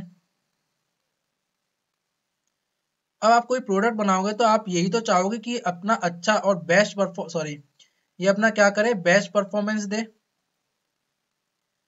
ठीक है बेस्ट परफॉर्मेंस दे। भैया रिलायबल हो। ठीक है स्ट्रॉन्ग हो, लंबा चले, ये सारी चीज़ें तो चाहोगे, ये थोड़ा ना आपने प्रोडक्ट बनाया और बनाते ही आपका क्या हुआ, खराब हो गया, टूट गया और वो किसी यूज़ का नहीं रहा। ये तो नहीं चाहते, हमें बेस्ट परफॉर्मेंस चाहिए। तो सारी चीज़ें क्या है, मान लीजिए मुझे कोई भी एक्स वाई जेड प्रोडक्ट बनाना है, वो डिपेंड क्या करेगा, मुझे उसका परफॉर्मेंस कैसा चाहिए। ठीक है प्रोडक्ट का क्या चाहिए परफॉर्मेंस कैसा चाहिए। अब ऐसा इंजीनियर अगर मैं कोई इंजीनियर हूँ, या मान लीजिए मटेरियल इंजीनियर ही हूँ, या मटेरियल साइंटिस्ट हूँ तो मुझे मटेरियल सेलेक्ट करना पड़ेगा। कुछ ना कुछ मुझे उस प्रोडक्ट को बनाने के मटेरियल लेना पड़ेगा। सबसे पहले मैंने देखी नीड क्या है मेरी। मुझे किस पर्पज के लिए चाहिए, उसका परफॉर्मेंस कैसा होना चाहिए। परफॉर्मेंस आ गया। प्रोडक्ट का आपका डिपेंड कर रहा है अपने परफॉर्मेंस पे ठीक है? अब प्रोडक्ट का ये परफॉर्मेंस किस पर डिपेंड करता है? प्रोडक्ट का ये परफॉर्मेंस डिपेंड करता है मटेरियल की प्रॉपर्टीज़ पर। ठीक है? अब मुझे ये प्रोडक्ट बनाना है। मेरे पास एक्स मटेरियल भी है वाई मटेरियल भी है जेड मटेरियल भी है। तो मैं किसका बनाऊँ? एक्स का बनाऊँ? वाई का बनाऊँ? जेड का बनाऊँ? तो मैं क्या देखूँगा? इनकी प्रॉपर्टीज़ देखूँगा, ठीक है? पहले मैंने परफॉर्मेंस देख लिया। सब में मैंने परफॉर्मेंस मुझे अच्छा चाहिए। फिर मैं देखूँगा एक्स की प्रॉपर्टीज़ क्या है वाई की प्रॉपर्टीज़ क्या है जेड की प्रॉपर्टीज़ क्या है, ठीक है? प्रॉपर्टीज़ ठीक है? प्रॉपर्टीज़ पता चल गई। अगर मैं डिज़ाइनिंग में हूँ, ठीक है? और मुझे डिज़ाइनिंग करनी है तो मेरा काम यही खत्म। क्योंकि मटेरियल की प्रॉपर्टी स्ट्रक्चर उनके बीच का रिलेशन से पहले से ही रिसर्चर्स जो है साइंटिस्ट उन्होंने पहले से ही स्टेबलाइज करके रख दिया है। मुझे क्या करना होता है? मटेरियल सिलेक्ट लेकिन अगर मैं जाता हूँ, मुझे और देखना है कि ये जो प्रॉपर्टीज़ होती हैं, ये किस पर डिपेंड करती हैं? ये स्ट्रक्चर पर। क्योंकि मैंने बोला, मैं तो मटेरियल साइंटिस्ट हूँ या मटेरियल इंजीनियर हूँ तो मुझे तो और डेप्थ में जाना पड़ेगा। अगर आप सिंपल आप डिज़ाइनिंग पर्पज के लिए ले तो यही काम खत्म। प्रॉपर्टीज़ के बेसिस आपने सिलेक्ट करा और बोल दिया कि वाई वाला जो है, वो अच्छा है वाई का प्रोडक्ट बनाऊँगा। यहाँ आपका काम खत्म। लेकिन हम क्या है? मटेरियल इंजीनियर्स हैं। तो हमें क्या करना पड़ेगा? मेरे माइंड में क्वेश्चन आएगा कि ठीक है सर जी परफॉर्मेंस ठीक है प्रॉपर्टीज़ तो ये प्रॉपर्टीज़ किस पे डिपेंड करती हैं? हम चलेगा स्ट्रक्चर पे। तो प्रॉपर्टीज़ किस पे डिपेंड करती हैं? अटोमिक स्ट्रक्चर क्या अरेंजमेंट है एटम्स का? ठीक है स्ट्रक्चर पर डिपेंड करती हैं। अच्छा ये स्ट्रक्चर मटेरियल का कैसे आपका बनता है? अलग अलग मटेरियल का अलग अलग स्ट्रक्चर है। वो कैसे मिलता है सर जी हमको? वो आपका बनता है प्रोसेसिंग उसकी प्रोसेसिंग कैसे की जा रही है? मैं आपका प्रोसेसिंग वाले ओर से एलिमेंट निकाल के लाया मटेरियल उसको मैं कैसे एक्सट्रैक्ट कर रहा हूँ, क्या प्रोसेसिंग आपकी टेक्निक यूज़ कर रहा हूँ, उसको फाइनली रिफाइन करके एक मटेरियल बना रहा हूँ तो वो सारी चीज़ें किसमें आ जाती हैं? प्रोसेसिंग में आ जाती हैं। तो उसकी प्रोसेसिंग कैसे हो रही है, उस पर डिपेंड करेगा। सिंपल समझ में आया? यानी प्रोसेसिंग करोगे तो प्रोसेसिंग पर डिपेंड करेगा स्ट्रक्चर प्रोसेसिंग पर डिपेंड करेगा स्ट्रक्चर स्ट्रक्चर पर डिपेंड करती है मटेरियल की प्रॉपर्टीज़ और प्रॉपर्टीज़ पर डिपेंड करता है मटेरियल का परफॉर्मेंस और परफॉर्मेंस के बेसिस पर मैं आपका क्या बना लूँगा? मटेरियल को सिलेक्ट कर लूँगा प्रॉपर्टीज़ के बेसिस पर और अपना प्रोडक्ट फाइनली बना लूँगा। क्लियर हो गया ये आपको? क्लियर हो गया ये चार कॉम्पोनेंट ये आपको याद रखना है, ठीक है? ये आपको याद रखना है जैसे जैसे आपका टाइम आएगा अलग अलग आपके टॉपिक्स में मैं आपको बताऊँगा कैसे कैसे वहाँ पर ये आपका फ्लो चार्ट इंपोर्टेंट क्योंकि कोई भी क्वेश्चन जो होगा, आप इसका आंसर इसके बेसिस पर दे सकते हैं, ठीक है? कोई भी आपसे पूछे कि आपने क्यों सिलेक्ट किया है मटेरियल तो ये फ्लो चार्ट तो आप उसे बता ही बता सकते हो, ठीक है? क्लियर हो गया? चलिए आगे चलते हैं। ये जो मैंने अभी आपको बताया, पीछे, इसको एक एग्ज़ाम्पल के थ्रू और समझ लेते हैं। तो यहाँ पर देखिए, ये आपके पास वन आपके पास दे रखा है वन टू और थ्री ठीक है? तीनों का मटेरियल क्या है? तीनों का मटेरियल है एल्यूमिनियम ऑक्साइड तीनों एक ही मटेरियल के बने हुए हैं एल्यूमिनियम ऑक्साइड लेकिन यहाँ देखो, यहाँ पर ये ट्रांसपेरेंट है। ठीक है? यहाँ पर ये थोड़ा सा ट्रांसपेरेंट है हल्का सा ओपेक मतलब आप कह सकते हैं थोड़ा सा आपको दिखाई दे रहा है यहाँ पर, ठीक है? और यहाँ पे ये आपका कंप्लीटली ओपेक है। यहाँ तो आपको कुछ भी दिखाई नहीं दे रहा।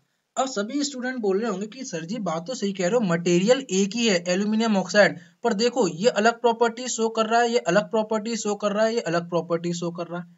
कुछ रिलेट कर पा रहे हो? बिल्कुल कर पा रहे हैं, सर जी, बिल्कुल कर पा रहे हैं।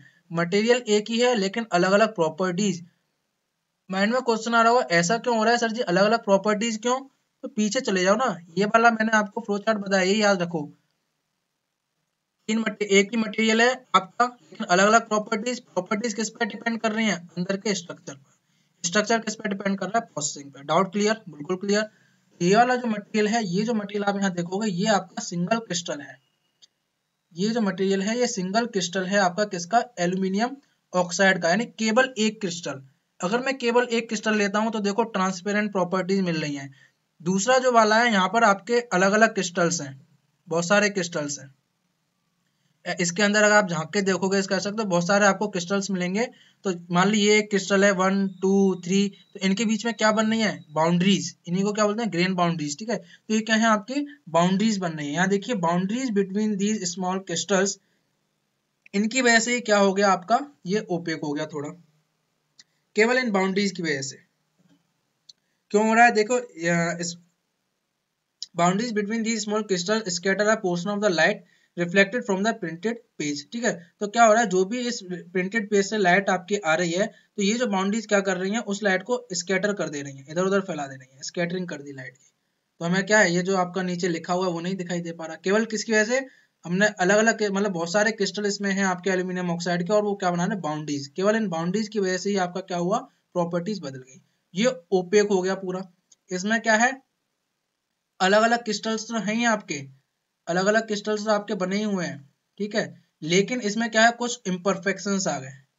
इम्परफेक्शन मैंने आपको अभी पीछे सिलेबस में बताया था यूनिट वन में हम कवर करेंगे क्या क्या इम्परफेक्शन होते हैं, ठीक है? सारी चीज़ें कवर करेंगे, मैंने बताया था आपको। तो यहाँ पे क्या हुआ, मान लो कोई वर्ड आ गया बीच में, ठीक है? कहीं पर आपका कोई एटम गायब हो गया, ठीक है? और भी कोई इम्परफेक्शन आ गया एक्सपेजर तो उसकी वजह से क्या हुआ, ये आपकी इसकी प्रॉपर्टी चेंज हो गई और ये कंप्लीटली आपका ओपेक हो गया। तो आप सभी स्टूडेंट को भी एक आइडिया लग गया होगा कि हाँ एक ही मटेरियल अलग अलग प्रॉपर्टीज़ शो कर सकता है डिपेंडिंग ऑन देयर स्ट्रक्चर ठीक है? प्रॉपर्टीज़ किस पर डिपेंड करेंगे? स्ट्रक्चर पर एंड स्ट्रक्चर डिपेंड करता है प्रोसेसिंग पे। प्रोसेसिंग क्यों बोला? क्योंकि ग्रेन बाउंड्रीज कैसे आई हैं आपकी? जैसे मैंने प्रोसेस किया होगा मटेरियल को, उसकी वजह से आई होंगी। इम्परफेक्शन क्यों आए? मान लो मैंने प्रोसेसिंग कर रहा हूँ, उस टाइम कोई आपकी ऐसा हुआ। कोई भी आपकी उसके अंदर गैस आ गई लिक्विड मेटल कुछ भी आ गया तो इसकी वजह से क्या हुआ? एयर बबल्स रह गए और उसकी वजह से खाली जगह रह गई। तो सारी चीज़ें किस पर डिपेंड कर रही हैं? प्रोसेसिंग पर। प्रोसेसिंग पर डिपेंड कर रहा है स्ट्रक्चर और स्ट्रक्चर पर डिपेंड करनी है प्रॉपर्टी तो इस एग्ज़ाम्पल से मैं उम्मीद करता हूँ आपको पूरा क्लियर हो गया होगा जो मैंने आपको पीछे फ्लो चार्ट दिखाया था। सभी स्टूडेंट को क्लियर हो गया। मज़ा आ रहा है पढ़ने में? मज़ा आ रहा है? बिल्कुल आ रहा होगा, ठीक है? बिल्कुल आ रहा होगा। ये आपको क्लियर होगा चलिए आगे चलते हैं। आगे क्या है? बात कर लेते हैं इसकी इंपोर्टेंस की कि हमें मटेरियल साइंस और इंजीनियरिंग क्यों पढ़ना चाहिए। वैसे तो आप सभी स्टूडेंट को अब तक क्लियर हो गया होगा क्या इंपॉर्टेंस है। क्यों पढ़ना चाहिए ये भी क्लियर हो गया होगा, क्योंकि पूरी कहानी में आपको बता चुका हूँ। फिर भी क्या पॉइंट्स लिखे हुए हैं, वो एक बार जल्दी जल्दी देख लेते हैं।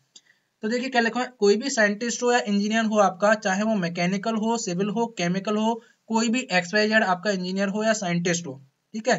अगर वो डिज़ाइनिंग प्रॉब्लम में है, आपका उसे डिज़ाइनिंग करनी है तो उसे मटेरियल का सिलेक्शन करना ही करना पड़ता है, ठीक है? कोई भी इंजीनियर हो इससे फ़र्क नहीं पड़ता है।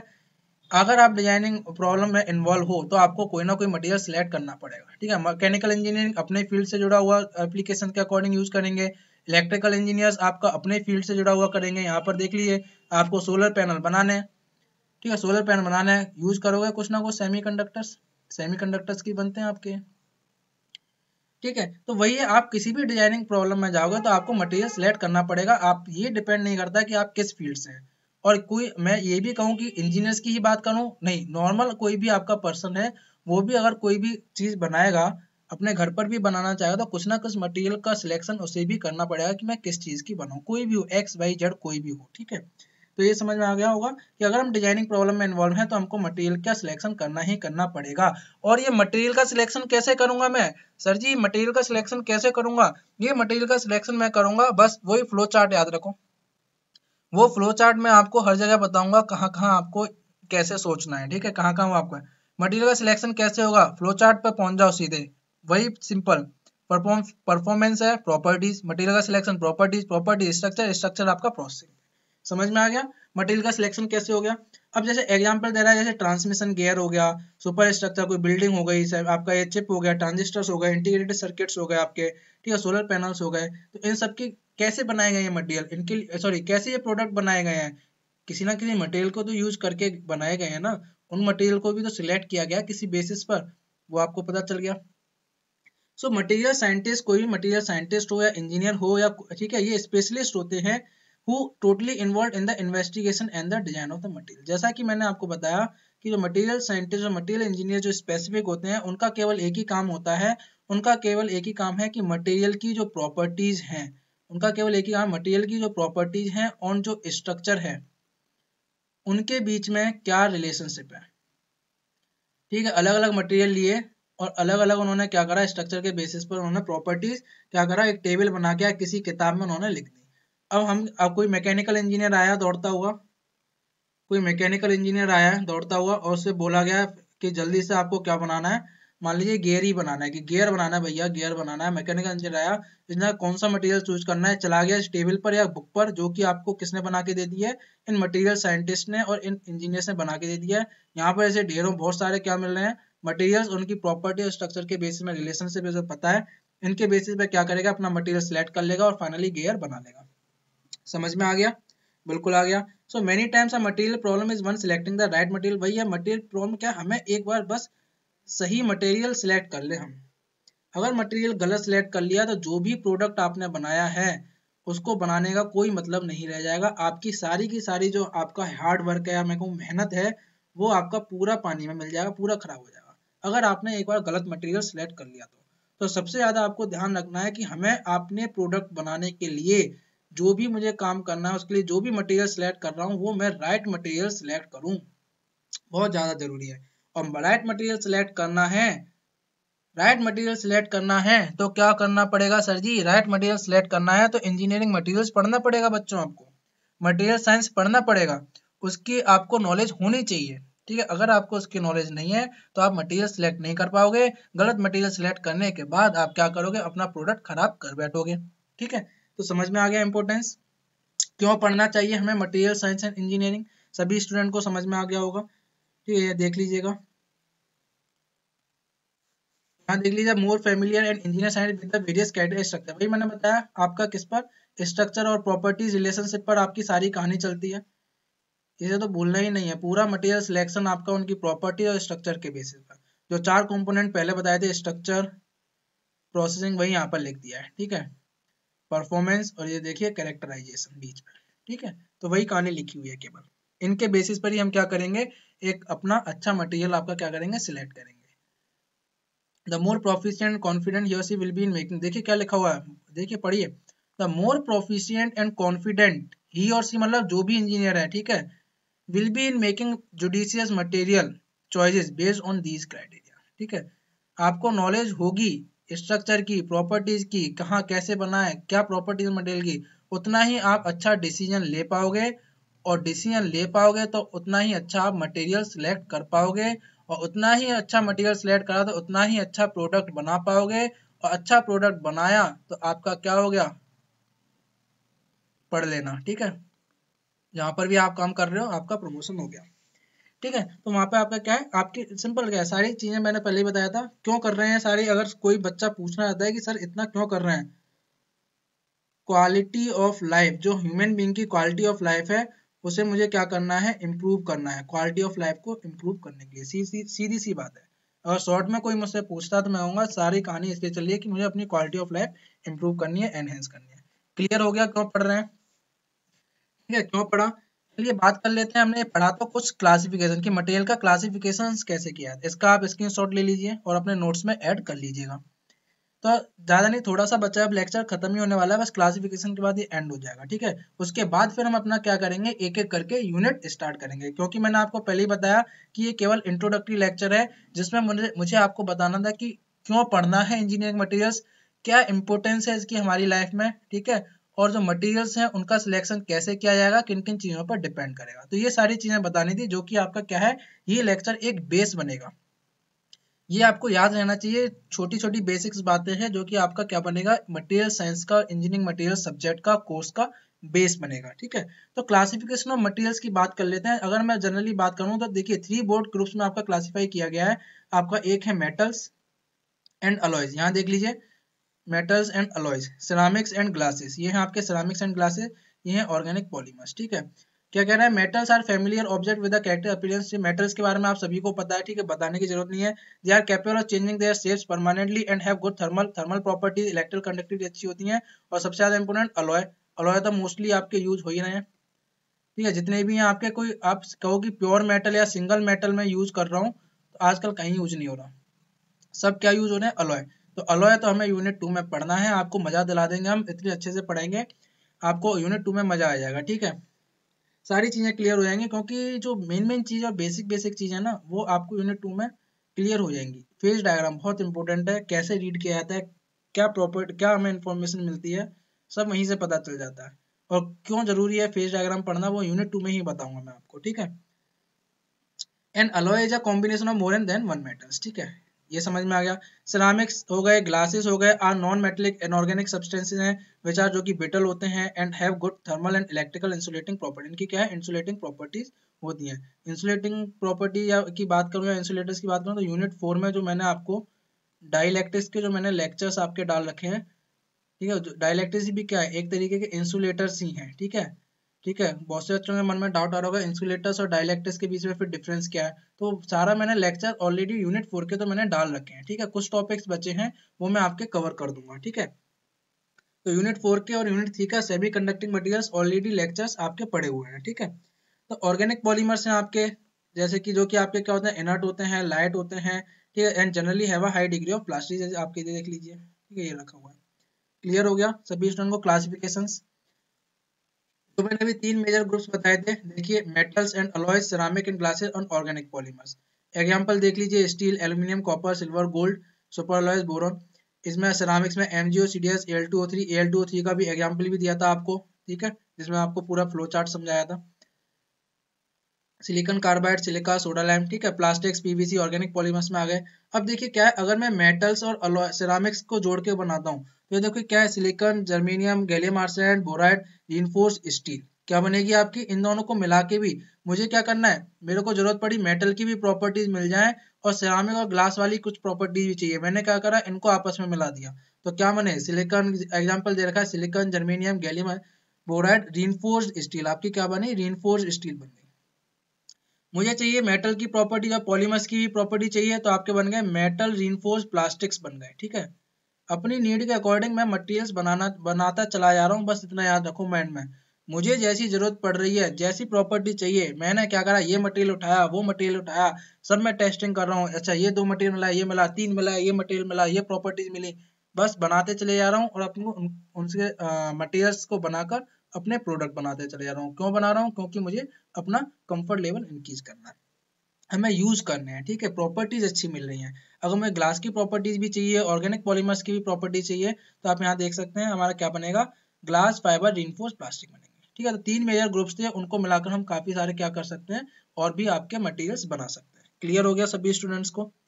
ठीक है, अब जो मैंने अभी आपको तीन क्लासिफिकेशन बताए थे मेटल्स मेटल्स बताया था आपको, ठीक है और आपको ऑर्गेनिक पॉलीमर्स वगैरह बताए थे, ठीक है?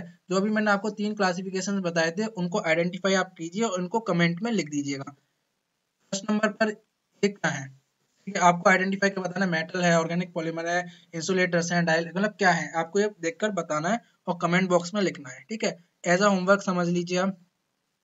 दूसरे नंबर पे आप ये ले लीजिए, बताना है क्या है ये? थर्ड नंबर पे आप ये ले लीजिए। क्या चीज़ है आपके? कौन से क्लासिफिकेशन के अंडर आएँगे आपके? आपके जो मटेरियल्स हैं, वो आपको कमेंट बॉक्स में लिखकर बताना है, ठीक है? अब कुछ आपके रहते हैं, वो तो आपके ब्रॉड क्लासिफिकेशन था कि अगर हम सिंपल लेवल पर क्लासिफाई करें तो क्या होंगे? उनके अलावा कुछ मटेरियल्स क्या क्या होते हैं? तो आपके, आज के जो उसमें हम सिनेरियो की बात करें तो एडवांस मटेरियल्स आए हैं आपके, जो कि काफ़ी ज़्यादा आपके यूज़ हो रहे हैं, ठीक है? ये मटेरियल्स कौन से होते हैं? एडवांस मटेरियल ये मटेरियल वो होते हैं जो कि आपके हाई टेक्नोलॉजीज़ में यूज़ किए जाते हैं, ठीक है? हाई टेक्नोलॉजीज़ में यूज़ किए जा रहे हैं। हाई टेक्नोलॉजी जैसे कि जैसे कि मैंने आपको बता दिया एआई वाला एग्ज़ाम्पल दिया था, ठीक है? जितने भी आपके बन रहे हैं, उनमें आपके सेमी कंडक्टिंग यूज़ हो रहे हैं, ठीक है? तो उन मटीरियल्स को हम क्या बोल रहे हैं? एडवांस मटीरियल दूसरे हम एडवांस मटीरियल ऐसे कह सकते हैं, कुछ मटीरियल्स आपके ऐसे भी होते हैं कि जो आपके क्या करें अपनी सराउंडिंग की कंडीशंस को सराउंडिंग की उनकी जो कंडीशन है, उनके अकॉर्डिंग बिहेव करते हैं। बताओ मटेरियल आपकी सराउंडिंग के कंडीशंस को देखकर बिहेव कर रहा है, ठीक है? एडवांस मटेरियल में ही आएगा अच्छा खासा मटेरियल है, ठीक है? तो they may be all material types देखिए तो एडवांस मटेरियल आपका मेटल भी हो सकता है सिरामिक्स मतलब कोई होगा इन्हीं चीज़ में, या इनका कॉम्बिनेशन होगा, कुछ भी होगा, इन्हीं का ही होगा, ठीक है? तो आपके किसी भी टाइप का हो सकता है, और ये जनरली आपके क्या होते हैं एडवांस है तो ये महँगे तो होंगे ही होंगे। एडवांस मटेरियल में क्या क्या आ गया? एग्जांपल सेमीकंडक्टर्स बायो मटेरियल्स ठीक है? Smart materials nano materials etcetera example सारे आपको बता चुका हूँ। नैनो मटेरियल्स का भी बता दिया था सेमीकंडक्टर बता दिया बायो मटेरियल्स का अभी मैं आपको इमेज दिखा दूँगा, आपको मज़ा आ जाएगा, ठीक है? सेमीकंडक्टर्स ठीक है? एडवांस मटेरियल में सेमी कंडक्टर्स पूरा मैंने पहले बताया, इस पर वीडियोज़ पड़ी हुई हैं। आप जाओगे, वहाँ देखोगे सेमी कंडक्टिंग मटेरियल्स के बारे में। चार लेक्चर्स पढ़े होंगे, आपको मज़ा आ जाएगा, ठीक है? आपको मज़ा आ जाएगा सेमीकंडक्टर मटेरियल्स क्या है, ठीक है? तो बताने की ज़रूरत नहीं है, केवल समझ लीजिए सेमी सेमीकंडक्टर्स क्या होते हैं, ये वो मटेरियल होते हैं जिनकी प्रॉपर्टी आपकी मेटल्स और इंसुलेटर्स के बीच में होती है, ठीक है? इतना समझ लीजिए केवल, ठीक है? वो सेमीकंडक्टर मटेरियल्स हैं। आपके रजिस्टर हुए चिप हुए डायोड हुए ट्रांजिस्टर्स हुए एलईडी बल्ब हुए, सब में क्या यूज़ हो रहे हैं? सब में आपके सेमी कंडक्टिंग मटेरियल्स यूज़ हो रहे हैं। बायोमटेरियल्स बायोमटेरियल्स कहाँ यूज़ हो रहे हैं? बायोमटेरियल्स अगर मैं बात करूँ तो बायोमटेरियल का सबसे ज़्यादा यूज़ हो रहा है आपका मेडिकल साइंसेज में। कैसे सर? देखो क्या होता है कि मान लीजिए कोई भी अगर ह्यूमन बॉडी का पार्ट या रिप्लेस करना होता है तो हम बायोमटेरियल्स का बनाकर डालते हैं। वो क्यों डालते हैं? क्योंकि वो बायोमटेरियल्स इतना कैपेबल होता है कि अगर वो हमारे मटेरियल के, हमारी बॉडी के अंदर अगर आपका फिट किया गया है तो हमारी बॉडी के अंदर जो भी कंडीशंस हैं, जो उसको सराउंडिंग्स मिल रही है, उसके अकॉर्डिंग वो सस्टेन कर जाता है और हमारी बॉडी को भी हार्म नहीं करता है, ठीक है? इतना टॉक्सिक नहीं होता हमारी बॉडी के लिए। तो इन बायोमटेरियल्स को यूज़ किया रहा है आपका उन फ़ील्ड में। देखिए क्या लिखा हुआ है? Biomaterials are employed in components implanted into the human body ठीक है? ये किसमें आपके इम्प्लांट किया है? ह्यूमन बॉडी में to replace disease or damage कोई भी हमारा बॉडी पार्ट डिज़ीज़ है या खराब हो चुका है डैमेज हो चुका है तो उनको रिप्लेस करने के लिए हम क्या करते हैं? बायोमटेरियल्स को यूज़ करते हैं। यहाँ पर आप देख सकते हो कुछ बायोमटेरियल्स आपके दिखाए गए हैं, ठीक है? These materials must not produce देखो टॉक्सिक सब्सटेंस नहीं होनी चाहिए, हमारी बॉडी को हार्म नहीं पहुँचाने चाहिए, हमारी बॉडी टिश्यू को हार्म ना पहुँचाए। तो ये सारी चीज़ हमारी क्या आवश्यकता थी? कि ऐसा मटेरियल खोजा जाए कि जो हमारी बॉडी को नुकसान ना पहुँचाया जाए और हमारा पर्पज भी पूरा हो जाए कि जो हमारा बॉडी पार्ट डैमेज है, उसका हमारी ज़रूरत भी पूरी हो जाए, ठीक है? तो उसके लिए हमने क्या खोज निकाला? ऐसी नीड आई तो हमने क्या बनाए? बायो मटेरियल्स बनाए, जो कि क्या है? एक एडवांस मटेरियल में ही आएगा, बिल्कुल सही बात है। तो देख लीजिए all of the preceding materials metal ceramic semiconductor में भी यूज़ है तो आपके क्या है? ये बायो मटेरियल्स भी किससे होंगे? सेमी सेमीकंडक्टर्स भी हो सकते हैं कंपोजिट भी हो सकते हैं पॉलीमर जो आपके ब्रॉड क्लासिफिकेशंस में थे, ठीक है? इनका कॉम्बिनेशन हो सकता है, कुछ ना कुछ हमने मिला मिलू के क्या कर लिए? बायो मटेरियल्स बना लिए। समझ में आ गया? बिल्कुल आ गया। स्मार्ट मटेरियल्स जैसा मैंने बताया, कुछ मटेरियल्स ऐसे होते हैं जो बहुत होशियार होते हैं। बहुत होशियार होते हैं, बहुत इंटेलिजेंट होते हैं आपके, ठीक है? क्या करते हैं, अपनी सराउंडिंग के अकॉर्डिंग अपनी सराउंडिंग के अकॉर्डिंग क्या करते हैं, आपके बिहेव कर जाते हैं।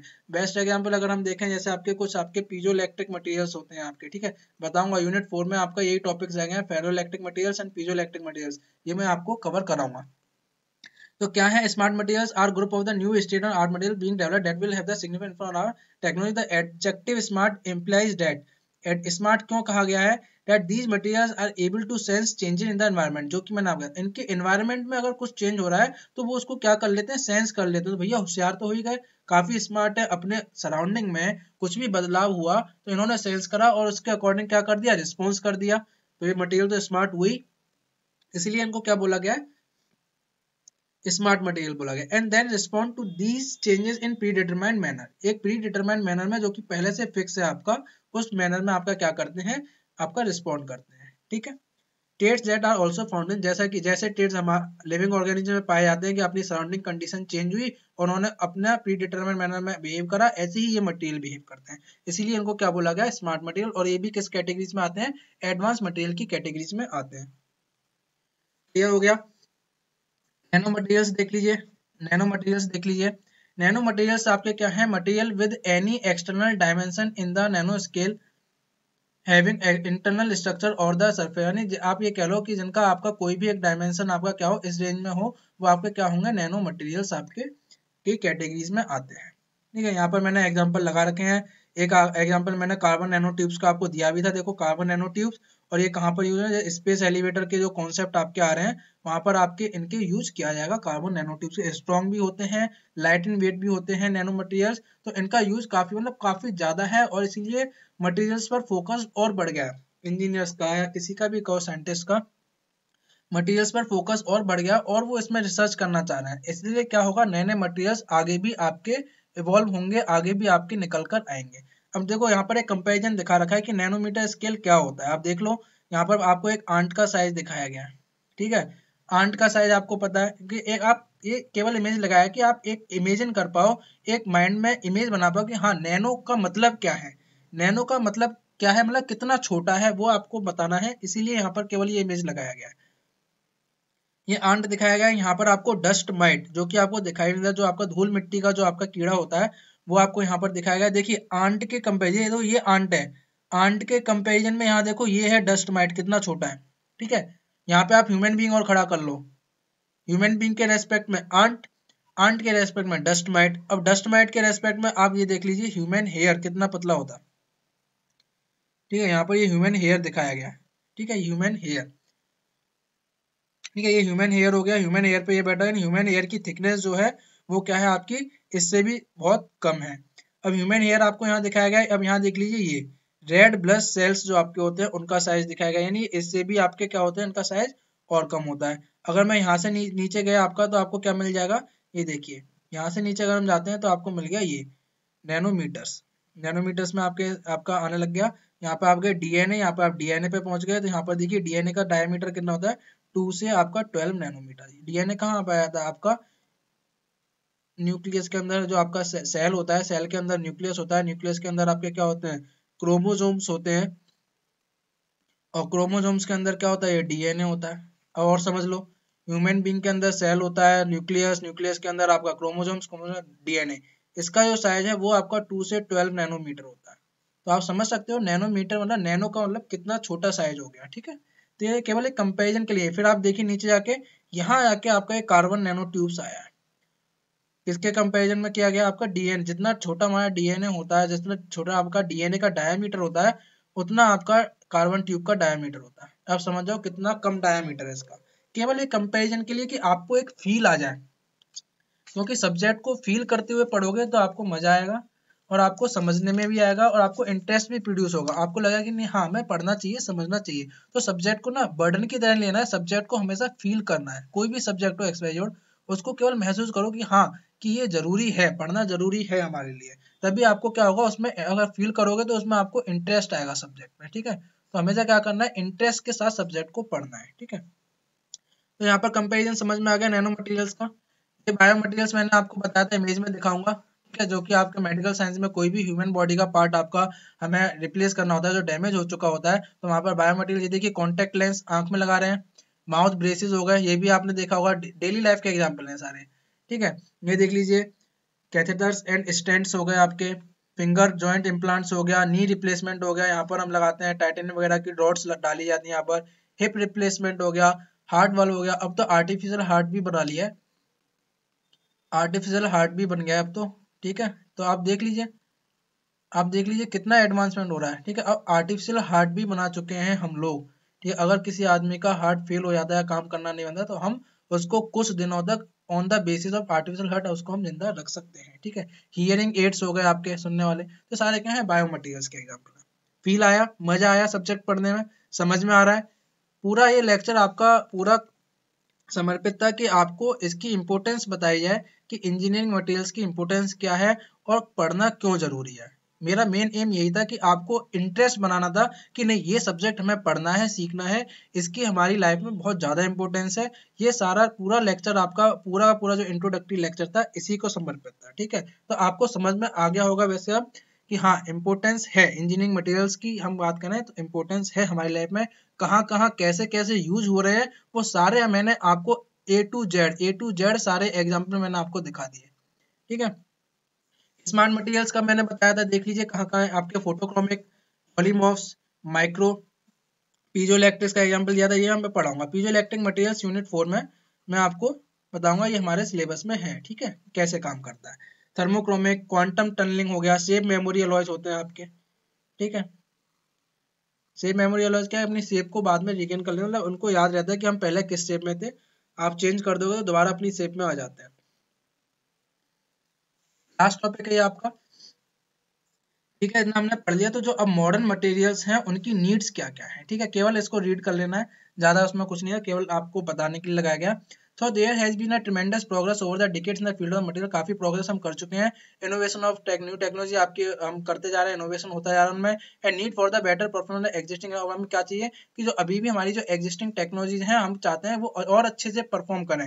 क्या करें? बेटर परफॉर्म करें, ठीक है? तो कुछ ना कुछ हमें चेंज करना पड़ेगा। प्रॉपर्टीज़ बदलनी पड़ेंगी नए नए मटेरियल्स लाने पड़ेंगे। तो इन्हीं चीज़ों ने क्या करा है? डिमांड बढ़ा दी है। किसकी? मटेरियल्स की डिमांड और ज़्यादा बढ़ा दी है। क्योंकि हमें क्या करना है? जो भी, चल ठीक है, हमारे पास टेक्नोलॉजी है अभी, ठीक है? अभी मान लीजिए वो 80 परसेंट एफिशियंसी पे काम कर रही है सिक्सटी परसेंट एफिशिएंसी में काम कर रही है तो हम चाहेंगे कि 90 तक तो पहुँचे। तो हमें क्या करना है उनके परफॉर्मेंस को बेटर करना है। उसके लिए मुझे और मटेरियल्स की खोज करनी पड़ेगी, और मटेरियल्स की स्टडी करनी पड़ेगी। तो यानी कि मटेरियल्स की स्टडी रुकेगी ही नहीं, आगे तक आपकी चलती चली जाएगी। ठीक है नए नए मटेरियल्स आपको देखने को मिलते रहेंगे। मोर is evident that new materials technology are needed to be the environment friendly. और दूसरा, मैंने अभी आपको जब मटेरियल लाइफ साइकिल बताया था, ये भी बताया था कि एनवायरमेंट फ्रेंडली होना चाहिए कि हमें अपने एनवायरमेंट का, अपने नेचर का ख्याल ज़रूर रखना है। ये नहीं है कि मटेरियल में बस मटेरियल्स को खोजने में और उनसे प्रोडक्ट बनाने में अंधा हो गया और मैं अपने नेचर को और अपने एनवायरमेंट को खराब करता जा रहा हूँ। नहीं। काफ़ी सारे आपके कन्वेंशन लॉज आपके बन चुके हैं कि हमें अपने एनवायरमेंट को क्या करना है? बचाना है प्रोटेक्ट करना है। हमारा एनवायरमेंट खराब नहीं होना चाहिए, ठीक है? ठीक है, आप मटेरियल ढूंढो, करो, कोई भी रिसर्च करो, कोई भी काम करो, पर आप किसको ध्यान में रखते हुए, आप नेचर को ध्यान में रखते हुए काम कीजिए, ठीक है? तो आपकी कुछ टिपिकल नीड्स क्या है वो यहाँ दे रखी है? जैसे कि क्या नीड है? मान लो अभी इंजन एफिशियंसी हमें बढ़ानी है हाई टेम्परेचर्स पर कि इंजन अच्छा काम कर सके तो उसके लिए हमें क्या चाहिए होगा? हाई टेम्परेचर स्ट्रक्चरल मटेरियल्स चाहिए होंगे। न्यूक्लियर एनर्जी हमें यूज़ ऑफ़ न्यूक्लियर एनर्जी आपका क्या है? सॉल्विंग प्रॉब्लम्स विद रेसिड्यूज ठीक है? तो हमें क्या है, इसमें, इसको क्या रिक्वायरमेंट होती है कि हमें रेसिड्यूज की प्रॉब्लम्स को सॉल्व करना है, ठीक है? न्यूक्लियर वेस्टेज की प्रोसेसिंग ठीक है? मान लो न्यूक्लियर हम एनर्जी यूज़ कर रहे हैं न्यूक्लियर सबसे यूज़ कर रहे हैं तो उनके वेस्ट भी तो काफ़ी टॉक्सिक होते हैं। कैसे उनकी डंपिंग कराई, करी जाए, कहाँ पर उनको रखा जाए, ठीक है? तो सारी चीज़ें मतलब हमें ध्यान में रखनी है। तो ये सारी चीज़ें हमें इनकी नीड है। हाइपरसोनिक फ्लाइट्स की रिक्वायरमेंट है। ठीक है मटेरियल डेटा जो कि क्या हो लाइट हो स्ट्रॉन्ग हो resist high temperature high temperature को रजिस्ट कर सकें और हाई स्पीड पे क्या कर सकें, चल सके। ठीक है ऑप्टिकल कम्युनिक केवल कुछ ही आपके पॉइंट्स यहाँ पर हमने वो कर दिए हैं, जिससे कि आपको पता चले कि अभी मॉडर्न मटेरियल्स की मतलब क्या क्या नीड्स है क्या क्या अभी हमें करना है क्या क्या चीज़ें पर काम चल रहा है अभी। ऑप्टिकल कम्युनिकेशन ठीक है रिक्वायर ऑप्टिकल फाइबर जो कि आपकी लाइट को नेग्लिजिबली एब्जॉर्ब करें ठीक है।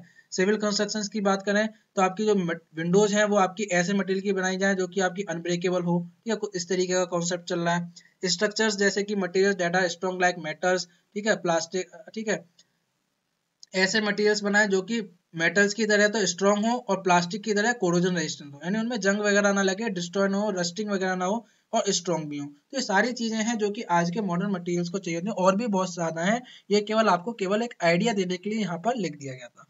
क्या सभी स्टूडेंट्स को समझ में आया? यहाँ तक किसी भी स्टूडेंट को कोई डाउट यहाँ तक किसी भी स्टूडेंट को कोई डाउट नहीं होगा। केवल इंट्रोडक्टरी लेक्चर था। आपको केवल एक फील दिलाना था, एक एहसास दिलाना था, महसूस कराना था कि हाँ इंजीनियरिंग मटेरियल्स की इंपोर्टेंस है, कुछ ना कुछ मायने रखता है और क्यों पढ़ना ज़रूरी है? और ऐसा नहीं कि केवल इलेक्ट्रिकल इंजीनियर्स को या सिविल हर कोई भी आदमी हो नॉर्मल पर्सन भी होगा, उसको भी मटेरियल्स की नॉलेज होनी चाहिए, ठीक है? यहाँ पर हमारा क्या है? आज का लेक्चर आपका जो है वो कंप्लीट हो जाता है। नेक्स्ट लेक्चर में आपका स्टार्ट करूँगा यूनिट वन से, ठीक है? नेक्स्ट लेक्चर आपका होगा स्टार्ट यूनिट वन से, जिसमें मैं आपको बताने वाला हूँ क्रिस्टलाइन नेचर ऑफ़ सॉलिड ठीक है? जिसमें मैं स्टार्ट करूँगा crystalline nature of solid atomic bonding से। बात करेंगे कितने टाइप्स के बॉन्ड होते हैं और मटेरियल की प्रॉपर्टीज़ मटेरियल की प्रॉपर्टीज़ कैसे कैसे अटोमिक बॉन्ड पर डिपेंड करती हैं, ठीक है? वो सारी बातें हम देखेंगे यूनिट वन के अगले लेक्चर में, ठीक है? यानी आज इंट्रोडक्टरी हो गया, अगले लेक्चर से आपका यूनिट वन स्टार्ट हो जाएगा। तो ये सारी बातें मैं आपसे करूँगा अगले लेक्चर में, ठीक है? अगर किसी भी स्टूडेंट को आज के लेक्चर में कोई डाउट हो तो वो कमेंट बॉक्स अगर कोई भी डाउट है यहाँ देख लीजिए कमेंट बॉक्स कर दीजिएगा कमेंट में कर दीजिएगा कमेंट कर दीजिएगा। मेल आईडी मैंने आपको दे दी थी स्टार्टिंग में वहाँ पर लिख सकते हैं। और अगर आपको अच्छा लगा हो, पसंद आया हो लेक्चर तो इसे लाइक ज़रूर कीजिएगा, जिससे कि क्या होगा, मुझे मोटिवेशन मिलेगा। अगर आप लाइक करोगे तो क्या होगा, मैं अपना और अच्छा देने की और अच्छा कंटेंट देने की कोशिश करूँगा, मुझे मोटिवेशन मिलेगा। और साथ में क्या करना है, आपको शेयर करना है, जिससे कि और लोगों को भी जो आपके अदर जो भले ही इंजीनियर्स हो या ना हो अदर पीपल जो भी है, वो भी इंजीनियरिंग मटेरियल्स के बारे में समझ पाए और उन तक भी इंफॉर्मेशन पहुँचे कि हाँ इंजीनियरिंग मटेरियल्स कितना इंपॉर्टेंट है। ठीक है इंजीनियरिंग मटेरियल्स का मतलब ये नहीं, मैंने बताया था कि केवल इंजीनियरिंग फ़ील्ड में जो normal day to day life में भी यूज़ किए जाते हैं। और अगर आप न्यू हैं चैनल पर अगर आप पहली बार आए हैं चैनल पर तो आपको क्या करना है? चैनल को सब्सक्राइब ज़रूर करना। ठीक है? और सब्सक्राइब कर दिया है तो बेल आइकन तो ज़रूर दबा देना। उसमें क्या जा रहा है? कुछ नहीं आ रहा। क्योंकि एक सब्सक्रिप्शन आप करोगे तो उससे मेरा मोटिवेशन टेन टाइम्स बढ़ जाएगा। और मुझे मोटिवेशन मिलेगा तो मैं आपके पास अलग अलग सब्जेक्ट पहले मैं आपका ये कंप्लीट करूँगा, और आपके लिए ऐसे ही अच्छे अच्छे लेक्चर्स लाता रहूँगा। ठीक है? तो आपको क्या करना है? ये तो आपको हर लेक्चर में करना ही करना है। इसे तो आप याद रखिएगा। कोई डाउट आता है, सबसे पहले डाउट की बात। Comment like share and subscribe और बेल आइकन आप दबा दीजिएगा। तो अगर आपको पसंद आया तो प्लीज़ लाइक ज़रूर कीजिएगा, ठीक है? तो थैंक यू स्टूडेंट यहाँ पर हमारा क्या है?